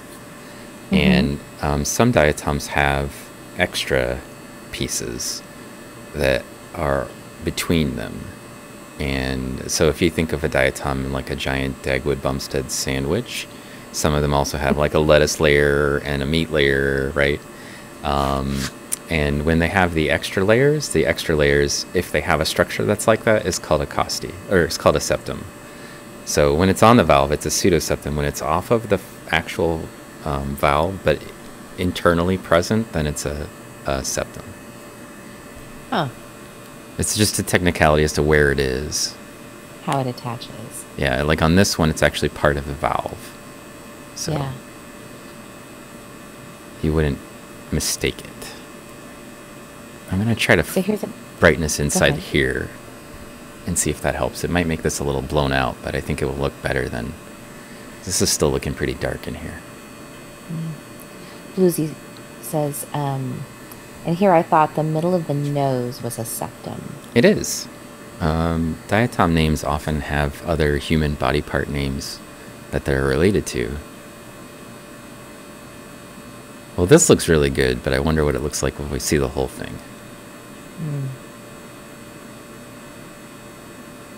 Oh, it'll just be bright. That's okay. I feel like it's better to have the uh, main part of the diatom in the right, like visible, and the outside edge be like glowing than it would be the other way around. Maybe it's a little too bright though. Well, what do you think? Something in between. Something just like Oh, forcing me to do it manually, I see.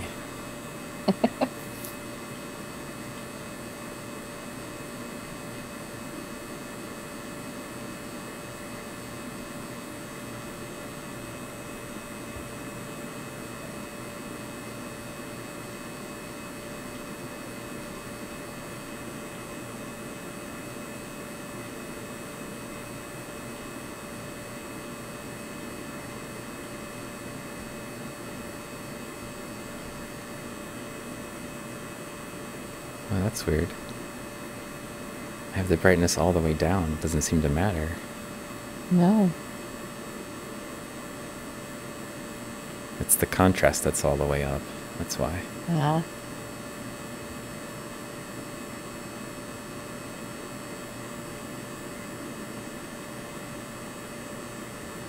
Harry Potter says, "What is um, what is it a scan of?"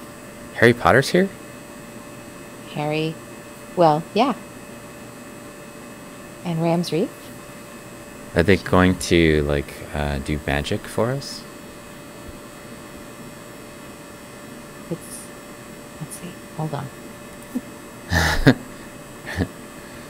All right, let's. Uh, I think this is a little bit in between. At least you can see some of the glows a little bit, but it's a little dark in here. Well, we'll we'll run with it, and then uh, my other option is to take two pictures: one where the middle part's exposed, and one where the outside is exposed, and then like tweak, Stack it. stack it, or I could have it where it's a little underexposed, and then fix it with Photoshop. So Harry Potter says I thought you were doing the magic.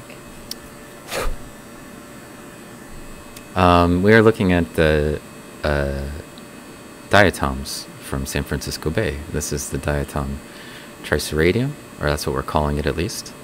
And um, it's an internal view of the of the diatom. So the diatoms um, look a little bit different from the inside and the outside, but this is the skeleton of a diatom.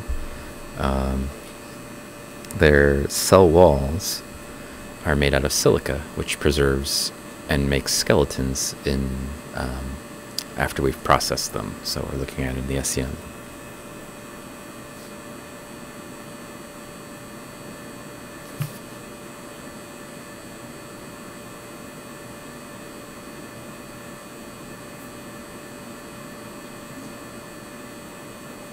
And it's slightly overexposed because I want to actually be able to see the inside of the valve. Which I think I did an okay job with, but needs to be toned down. Oh, it looks good.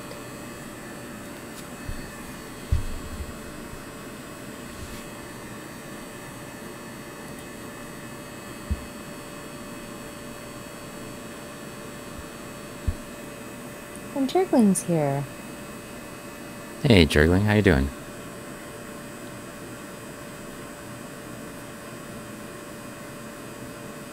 And Booth said, is that skeleton or diatom? Skeletor, the diatom. Sorry. Uh, I don't think this diatom was on He-Man as a villain, but I suppose it's possible.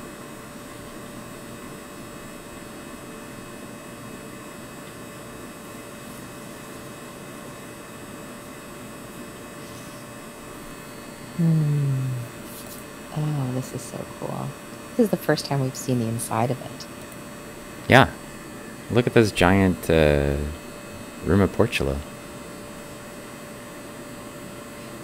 So they're not mantle portula. Nope. Uh, they don't appear to have any of those. It looks like they just have rimoportula. Got it. But I can't see under the pseudosepta, so I could be wrong. But it doesn't look like it. This is.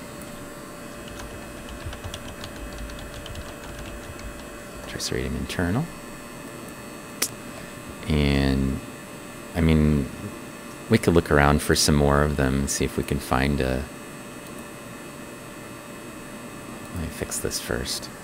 Um, see if we can find a. Uh,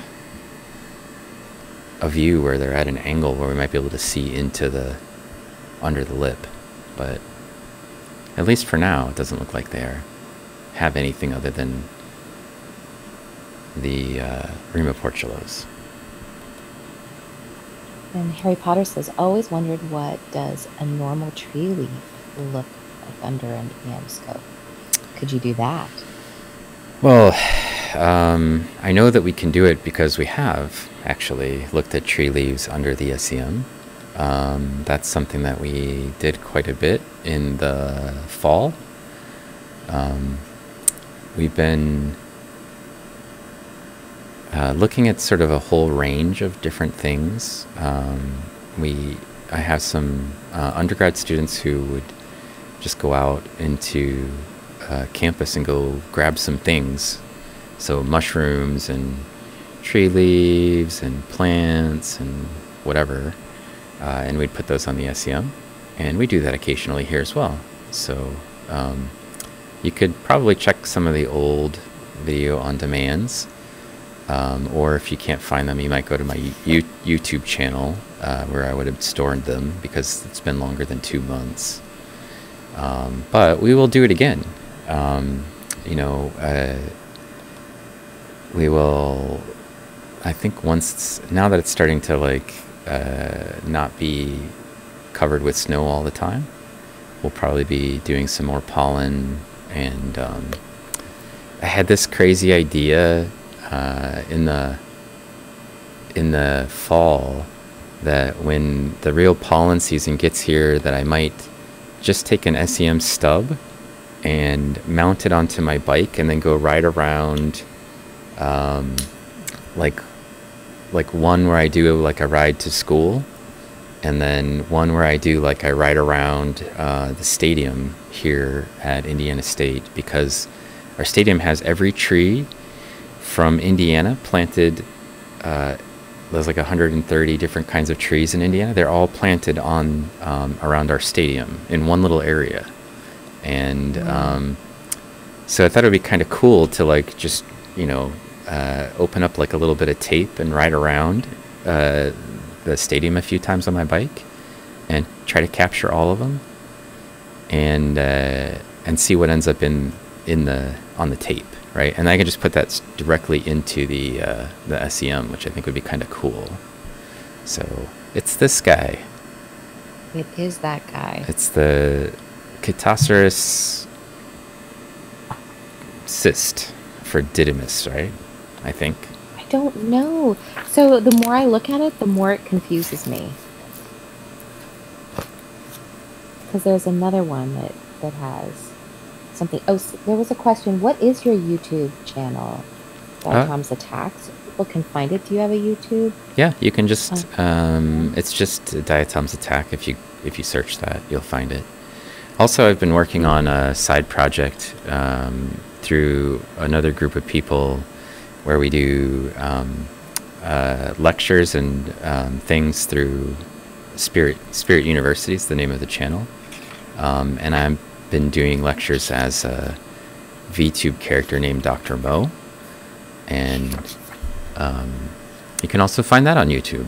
So I've been doing lectures about uh, cool stuff. I try to keep it separate from what I'm doing here, um, from my Twitch channel. But um, if you're into VTube characters, or you want to see me give a lecture about extreme extremophiles or uh, hydrothermal vents, both of those lectures are up. And then I've been sort of channeling my uh, late night microscope streams as my office hours for that character, which is Friday nights. Um, I do a little late night hangout on the microscope, uh, on the light microscope, not the SEM. But um, been doing that on my YouTube channel with uh, Dr. Mo as well. All right. Rams Reef, he's a VTuber. Okay. So I so it looks also a little bit like the Chaetoceros radicans. Oh, not assist. So here's a question. Well, maybe not. See, that's the thing, right? So this is cleaned.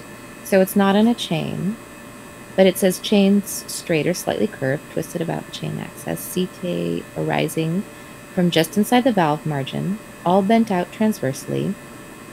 Intercalary setae with hair-like siliceous spines. And it seems like they've got hair-like spines on them. yeah, they look like little roots. Apertures narrow. Yeah.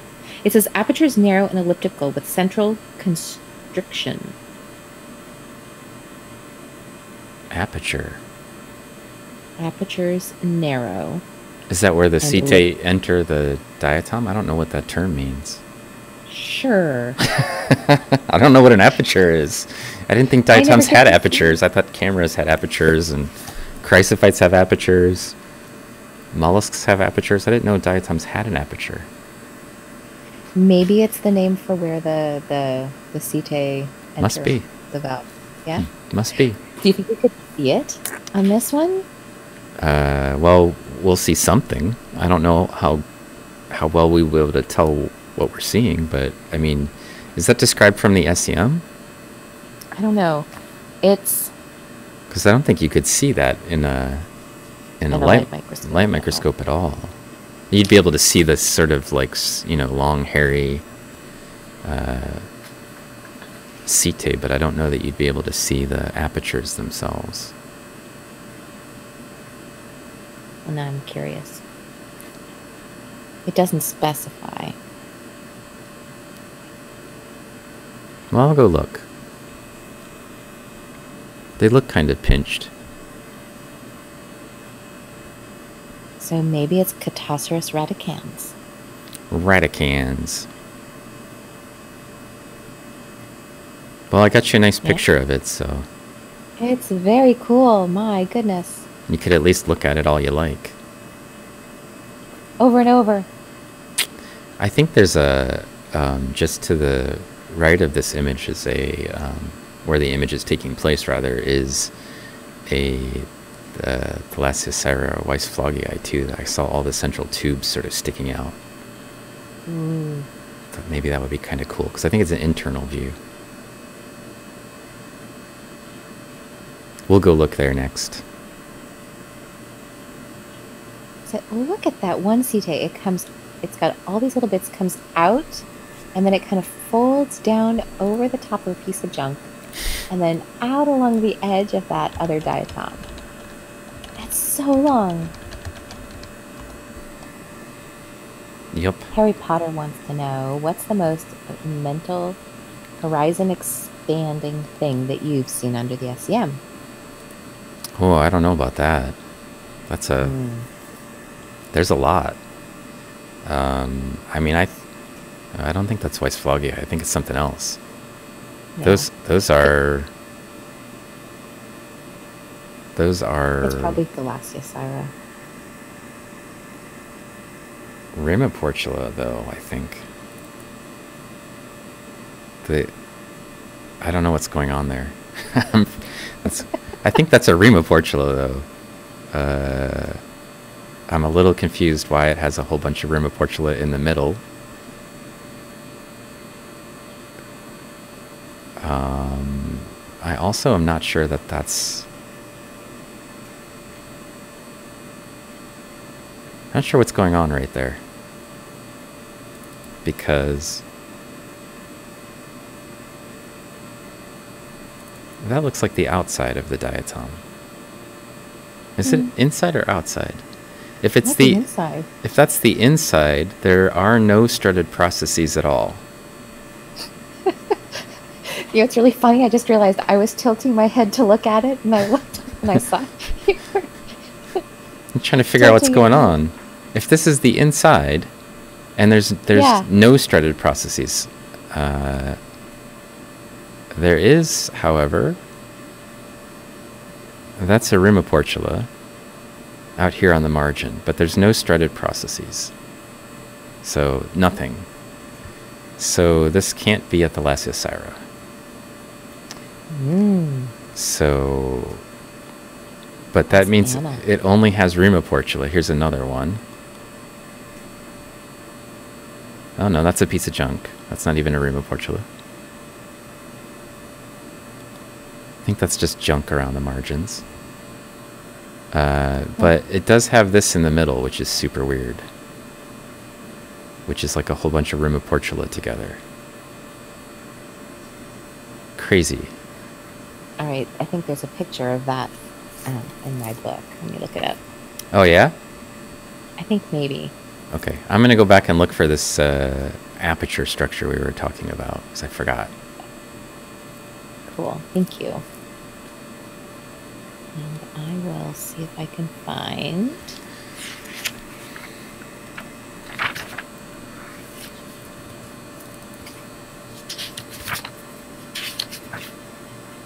Ooh, I mean, I don't know. They just look like V-shaped, but it, it does kind of like. I mean, it's so weird. Oh, I can't see anything special. no, No. bummer. It's very cool though. It's a very devilish-looking diatom. It is. Ring of Fortune is junk. Says Mindolator. What? I think it's like Rimoportula. Oh, Ring of Fortune. the rimoportula is junk. could be. Some of it could be.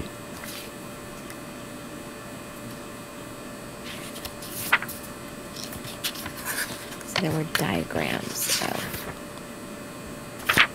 I like that name though. Ring of Fortune.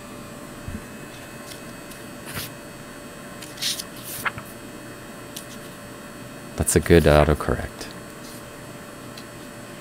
What is closed caption? Oh, it's what closed captioning says. Nice. That's the best. Uh, I have this uh, for classes where I use the closed captioning and it tracks what I'm saying, but it's not good with science terminology, obviously. And um, some of the best ones I used to like whatever it would come back with, I would copy them and paste them into like my Facebook page for my friends to see like the terrible translations that it was doing. Because some of them are pretty funny and borderline vulgar. All right. S. What is the S stand What does what S stand for? for? S. It's the it's, um. So there's a little drawing here, and it's a S Stellaris. I'm like, oh, here we go. Stellarima has an interesting arrangement of um. Stellarima. I've never even. What? Stellarima. Yeah. Okay. I don't know. Ooh. I'm trying figuring it out. Ooh. Oh, it's clean. What's going on here? There. Hello, weird little hairs.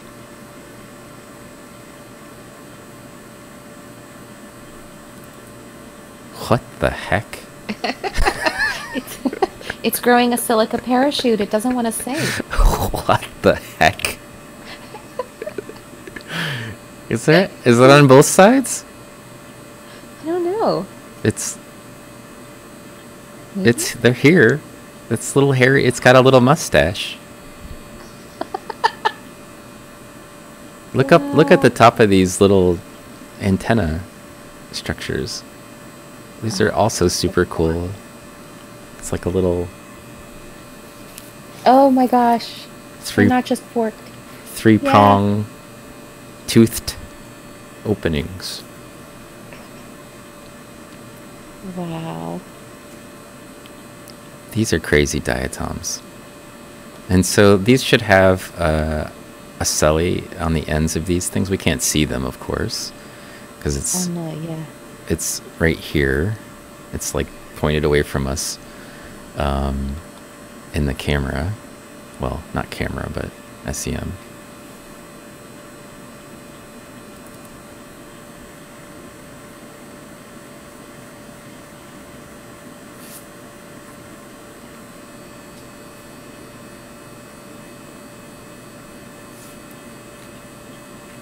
Oh, look at that. I'm trying to.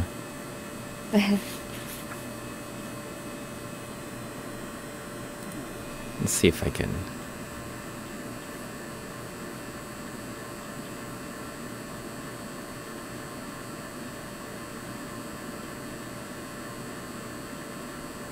Get it to be a little bit better.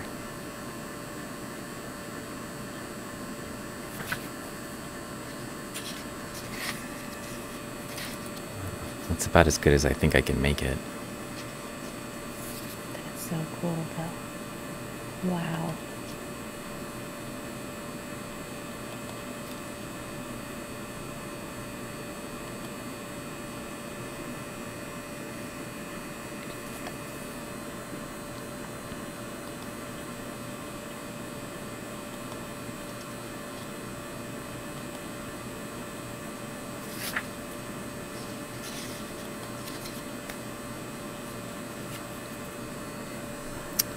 That's Let's just so crazy. If we do that and do this,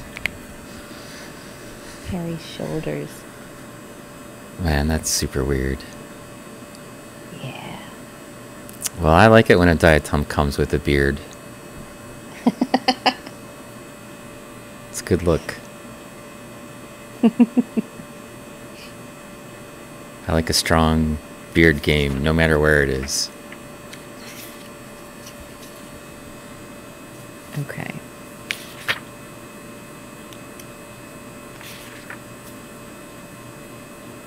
It's looking pretty sharp. It really is. Wow. All right. We'll just take a picture of this little beard and then I'll get one of the whole valve.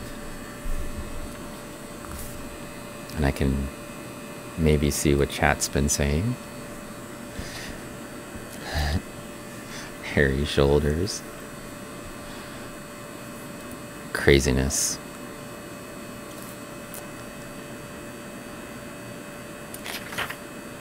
Harry Potter wants to know what does human skin look like under the SEM, and is there a video for that? Um, it turns out that I have not stripped skin off of any person, uh, Harry, but uh, and I also prefer if nobody donates pieces of their skin for me to look at in the SEM.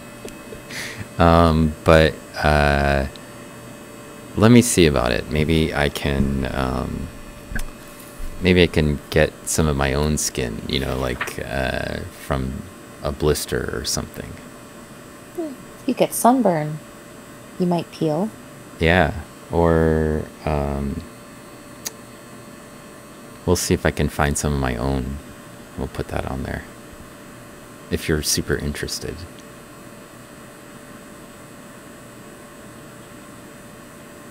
Oh, wow. It's a good looking shot. It's really good. Well, I'm glad I spent a little bit of time at the beginning of the screen cleaning up our image. Because these are some good ones. Yeah. Sunburn for science.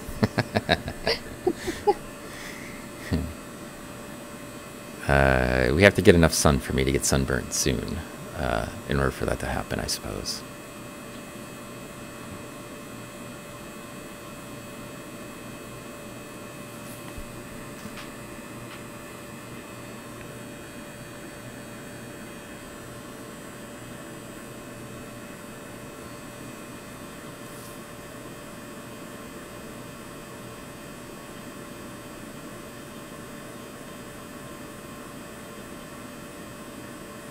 I'm trying to figure out what that thing was in the center. Um, of the No, round one, no, on the, yeah. Stellarima one.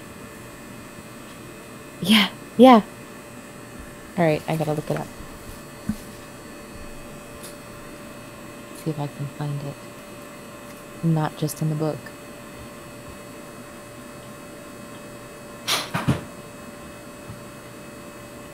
Uh, are electrons teleporting from the hairy thing to the microscope?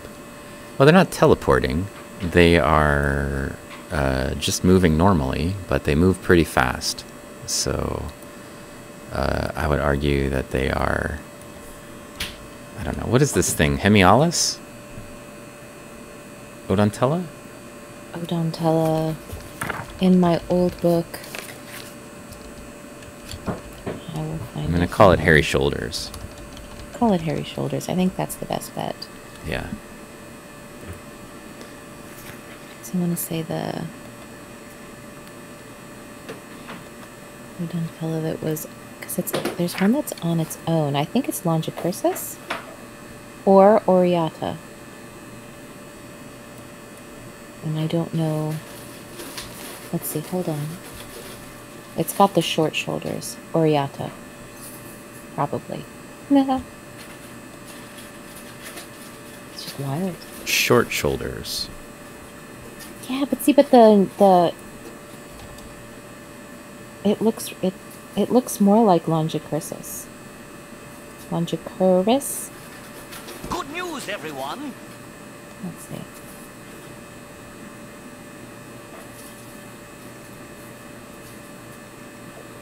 Okay, so. Uh,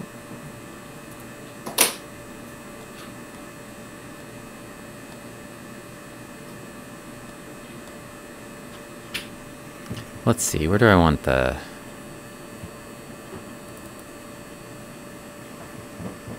maybe that. Maybe there? Hmm.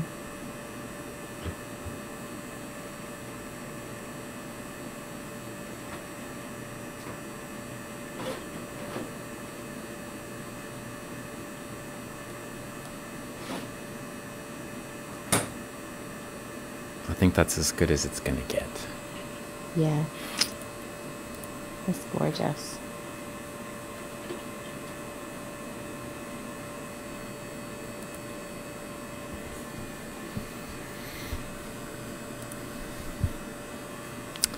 So, the um, the Good news, everyone. The way that the scanning electron microscope works is that there's an electron gun at the top of it that's firing electrons down on the specimen, and the beam actually hits the sample, and some of the electrons from the electron beam will knock electrons out of the sample.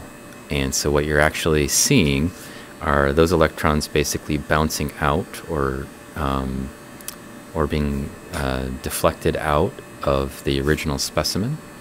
And then if you look at this thing that's right below me down here, that's the inside view of the chamber. So the little cone shaped thing is where the gun is firing onto the sample. The sample is um, on the little stubs, and then the electrons are hitting it and going to this thing that's sort of over here in the corner uh, that looks like a sorry, wrong corner. Uh, it looks like the uh, a little grating, and um, that has a a positive charge. So the electrons have a negative charge. They're drawn towards it, and so they're not actually teleporting, but they move very quickly. Um, and then it gradually scans across the image back and forth. So the image that you're seeing, the one that's being made for you, is um, constructed. It looks like a photograph, but it's not using light at all. It's just using electrons that are scanning over that sort of microscopic surface back and forth. And um, when it does, it captures how many of those electrons are hitting the sensor at each one of those pixels, basically. And then it provides a brightness value for that. And then basically, as it moves, it changes the brightness and then it creates a picture. So. And Ha! Can a normal man buy an electron microscope? Um, well, I'm a normal man, um, at least by all accounts, and um, it's expensive. Let me put it that way. Uh, There's no government restrictions against people buying electron microscopes. correct. Uh, you could own one if you have like $150,000 or something. If you want to sell your house and buy an SEM and live inside of it. Um, I mean, some people's houses are worth way more than that. And uh, yeah, you could get one.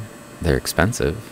Um, the cheaper ones are something like I want to say sixty or seventy thousand dollars, um, but they don't do as good of a job with uh, the images, and um, you know, you'd still have an SEM though. So there's that. Gov says so the microscope is firing electrons at the hairy thing, and some of the electrons bounce back, and those get detected, and a picture is formed. Yep, that's it. So it's um, I could show you some like sciencey diagrams, but they're just going to show you the same thing. So uh, that's basically how it works. Good news, everyone. Oh, Oh, that was really cool. Sorry, noises in my house. It's lunchtime. Sorry. uh, we got follows from Discrete Games and Foomp and uh, Attila here from Italy, apparently. Uh, Harry Potter Good Uh, everyone. guy equals eight pig um, and art of DHT. So thank you all for following. Speaking of lunch, are you going to get some lunch soon? You've been streaming Oh yeah. an extra half hour longer than I thought you would. Um, I usually try to end at uh, there's another Odontella. I usually try to end at um, 3:30 ish. So maybe I'll find one more and then uh, get a picture of it, and then we'll call it a day. And then I'll Can we fi- find Corethron? I want to find it so bad. well, I can't promise Mm. anything. Uh, with respect to what we'll find, uh, I've been looking, I know. so you know. It's so cool. We found such amazing things. Yeah. I mean, there's lots of cool stuff in these samples, and that makes it easy to find them. Uh, but a lot of times the SEM's like a snark hunt. You know, you're you're out trying to hunt the wumpus, and uh, and sometimes you just can't find it. So, uh, and that's actually probably the only thing I ever find even remotely frustrating about using a scanning electron microscope is that. Uh, it, it's hard to find what you want, and then usually when you find it, it's it's covered with junk or what was that noise? Was it a cheer? Uh, Oh, thank you for the cheer. yeah. Um, yeah, so sometimes when you find it, it's covered with junk, and then it's like, oh, like I found it, but it's not a good picture, right? So, And Harry Potter wants to know if you have an SEM in your house or, or in an education institution. uh, this one is in my lab. Um, so this is my scanning electron microscope lab. That's a radiolarian.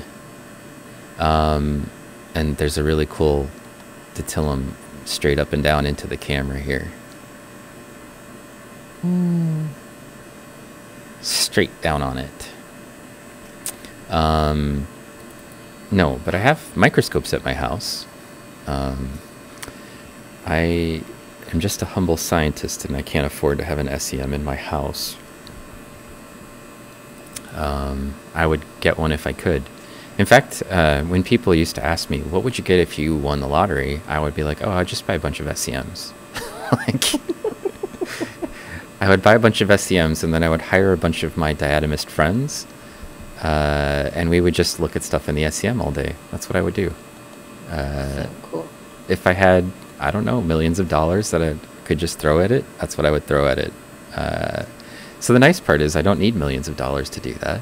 Uh, it's also part of my job. So get yourself a job where you think that's what I would do if I won a million dollars. That's a pretty cool way of looking at it, right? It's a Um, really cool way of looking at it. because then I like what I do enough that basically, I mean, if I got money, I would keep doing it.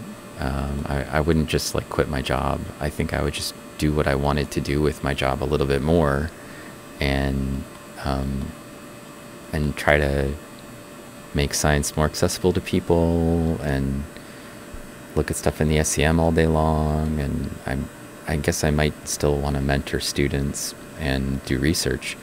Um, but uh, I might cut back on the teaching quite a bit. You could fund your own research. I could uh, for a little while. Uh, a million dollars does not get you very far in science, so um, start your own foundation to fund your own work. Yeah, that's well, that's what I would ultimately probably end up having to do with it. But um, I don't play the lottery, so I'm not going to win the lottery. But um, if I did, you know, that's probably where I would go with it. Oh, look at that.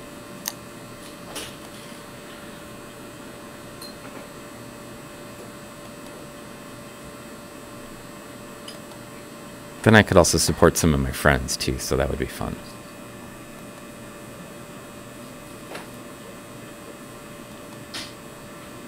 Let me know if you want in, uh, if I win the lottery pack. then- Oh, y- if yeah, if you win the lottery that you don't play, I definitely want in. okay. You might have to, um, I don't know. Like, I'm going to set up the institution. I probably am not going to move to San Francisco, so. Not sure how you're going to manage. I guess we could always just have you come visit all you want. Yeah, you could have a satellite office, Oh, I see. right, for coastal research. Okay, That's actually not a terrible idea. It's not a horrible idea. All right, let me rotate around to three and see if there's something cool on Okay. three. Okay. Whoop, here we go. Oh, this is a live sample. Oh, Well, it was live. Now it's not. I can tell because everything's in chains. So there's like uh, Asterionellopsis chain, and then there was a Thalassiosira chain over here. So y- you can tell right away. Here's a big Catastrophes chain that I'm looking at, like material that was collected that hasn't been processed. as in not boiled in acid. Yeah, yeah, yeah. Not boiled in acid. There's some. Oh, this is the one with the giant, uh, the giant diatom in it that you zoom out, you can get the whole thing in. Here it is, Oh, that's right. It's huge. big long guy. That distracted us from a previous uh, on a previous stream. That was massive. I saw another one of those in my live sample yesterday. Oh yeah, Mm-hmm. you went out and collected diatoms and other things yesterday from the plankton. No, I had I had leftovers from uh, teaching. Oh okay. I was helping out bringing the microscope world to students doing um, distance or remote learning. Mhm. 'cause They haven't opened schools in San Francisco. Mm-hmm. And, um, sometimes I bring plankton on my microscope via Zoom to classrooms around the bay. Why just around the bay?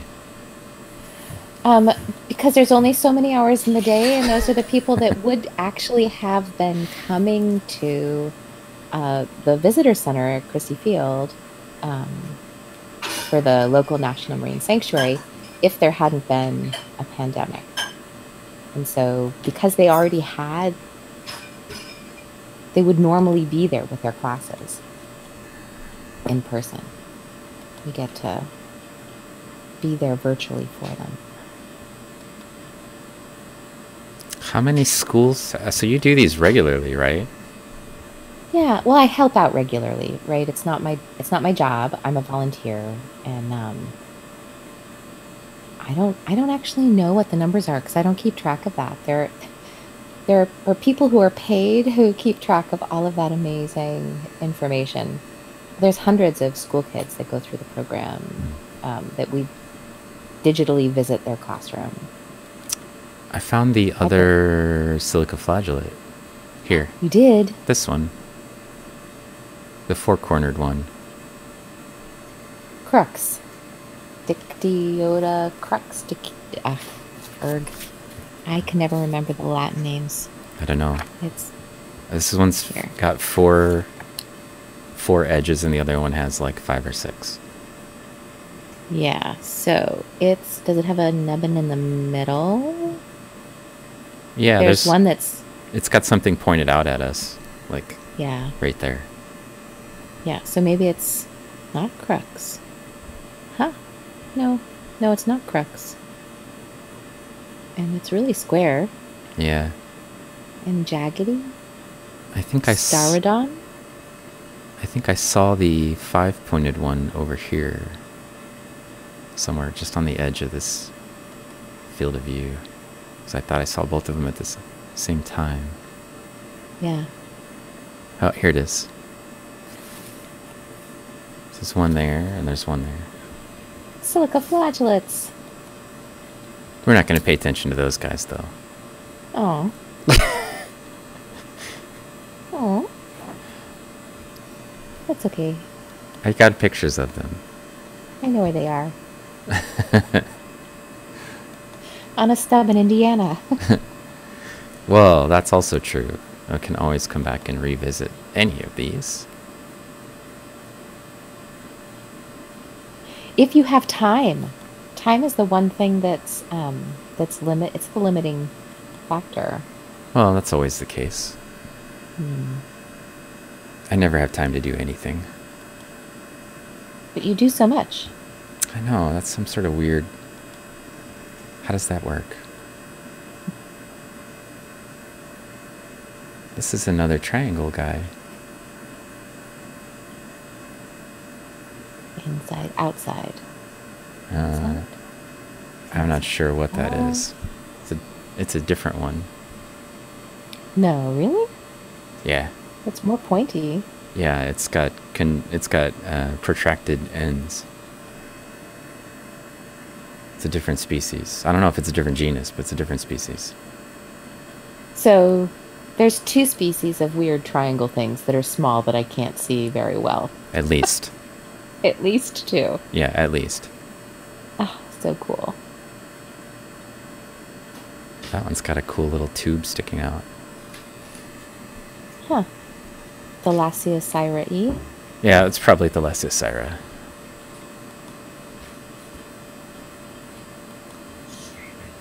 I'm not seeing any uh, little minions with hairs sticking out in every direction, though. I know, I know, I'm not either. Well, we tried. We did, we did. Valiant effort. It's just the way it goes. Sometimes the Yes. sometimes the snark gets you. Sometimes you get the snark. But there were so many really beautiful things today. Odd things that I've never seen that close. Yeah. It's fun. I was, I'm always like, whenever we look through these types of things, I'm always looking for those little dinoflagellates and Mm. things we don't usually see intact as frequent. hmm Usually they're just blobs. Covered with boogers. Yeah. Sounds like marine plankton. it's not animals, blobs covered in boogers. Look at this one. oh, yeah. There it is. Uh, that actually has a lot of ups and downs. has more. Two, Yeah. four, five, six, seven, eight. Yeah, the last one was six. Yeah, And then this one's eight. Hmm, it's got a lot. it does. We didn't see any of these in the digested part, so I'm gonna get maybe this is our last photo. Okay. Once I get it into focus, you can see it's covered with like you know boogers. It's got Life stuff. life boogers on it, but we'll make do. Sometimes the it's good just to have a picture of something weird like this, so at least you got one of them. Even if it's covered with boogers. Yeah. Ah, that's a lot. So, are they different species or different ages, or did it like make a mistake? As a different species. So the species determines the number of ups and downs. I'm pretty sure. Yeah. That's Mm. not like uh, the normal one that we see, which is like Actinoptychus senarius or whatever. Uh, it- Mhm. it- it's not that one. No. It's something different. It's different. But what is it? Well, you got the book. I know, but I don't think it's in my book. I don't know how to help you then. I don't know how to help me either. If it's not in my book, what do I do? Where do I look? That's so frustrating. Uh, okay. Um, so here's the point where I should say thanks to everybody for hanging out with us, and especially for Pacific Plankton for uh, struggling through our early uh, attempts to get sound to come out of the machine the way it's supposed to, and for Micah for helping out with that as well. And um, I will be back on, I think, Wednesday. Uh, all things equal, I should be able to get another stream in on Wednesday. Um, to, I don't know what we'll look at. Uh, I think maybe Laura and I will be looking at some stuff, but I don't know for sure. And then, um, so you should check out Pacific Plankton. She's going to stream from her light microscope on Monday night, and starting around midnight Eastern or whatever that is, nine o'clock on Pacific time. And Yes. um, and maybe we'll see some more cool things uh, crawling around in her samples or floating around in her samples. Um, and I should figure out who we're going to raid. Yeah. Thank you so much for having me. This was a blast. It's always such an incredible treat to see these organisms so close and in such rich detail. It's just. It's amazing. Yeah, it's pretty cool. Hmm. Who to pick? Maybe we should go raid Seeky Wisdom, who is playing a retro game. Ah. Oh, they've got a be right back screen. Uh-oh.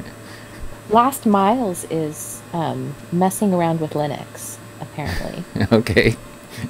But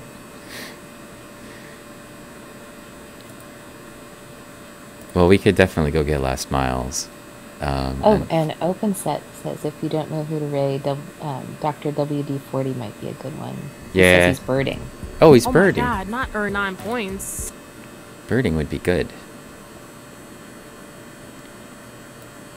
Oh, he's doing a total hmm? outdoor stream, huh? Okay. Let's go get Dr. WD-40 then. That's fine. I like birds. Oops. Birds are cool. I can't wait till I'm able to go out and Aw, do some more birding. Is it really gonna hide from us in there? I think so. You know what? Let's check this different angle. All right. We're all set out. up.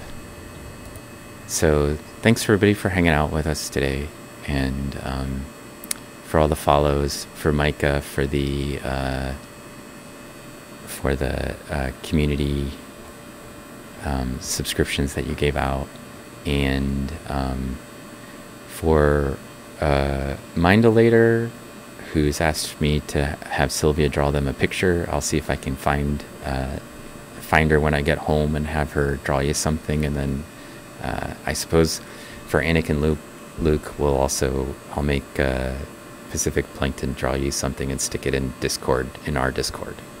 So And if Sylvia there. doesn't feel like drawing, I got her covered. yeah. Okay. Good. Perfect. All right. Uh, so we'll go raid Dr. WD40. He's doing some birding, and um, we'll catch you guys next time. Yeah, the stream's over now, uh, Mr. Crab. Sorry about that. You just missed it. Uh, we'll be back on Wednesday from 1 to 3, so you can check us out then as well. All right. Thanks, everybody. Goodbye. Goodbye.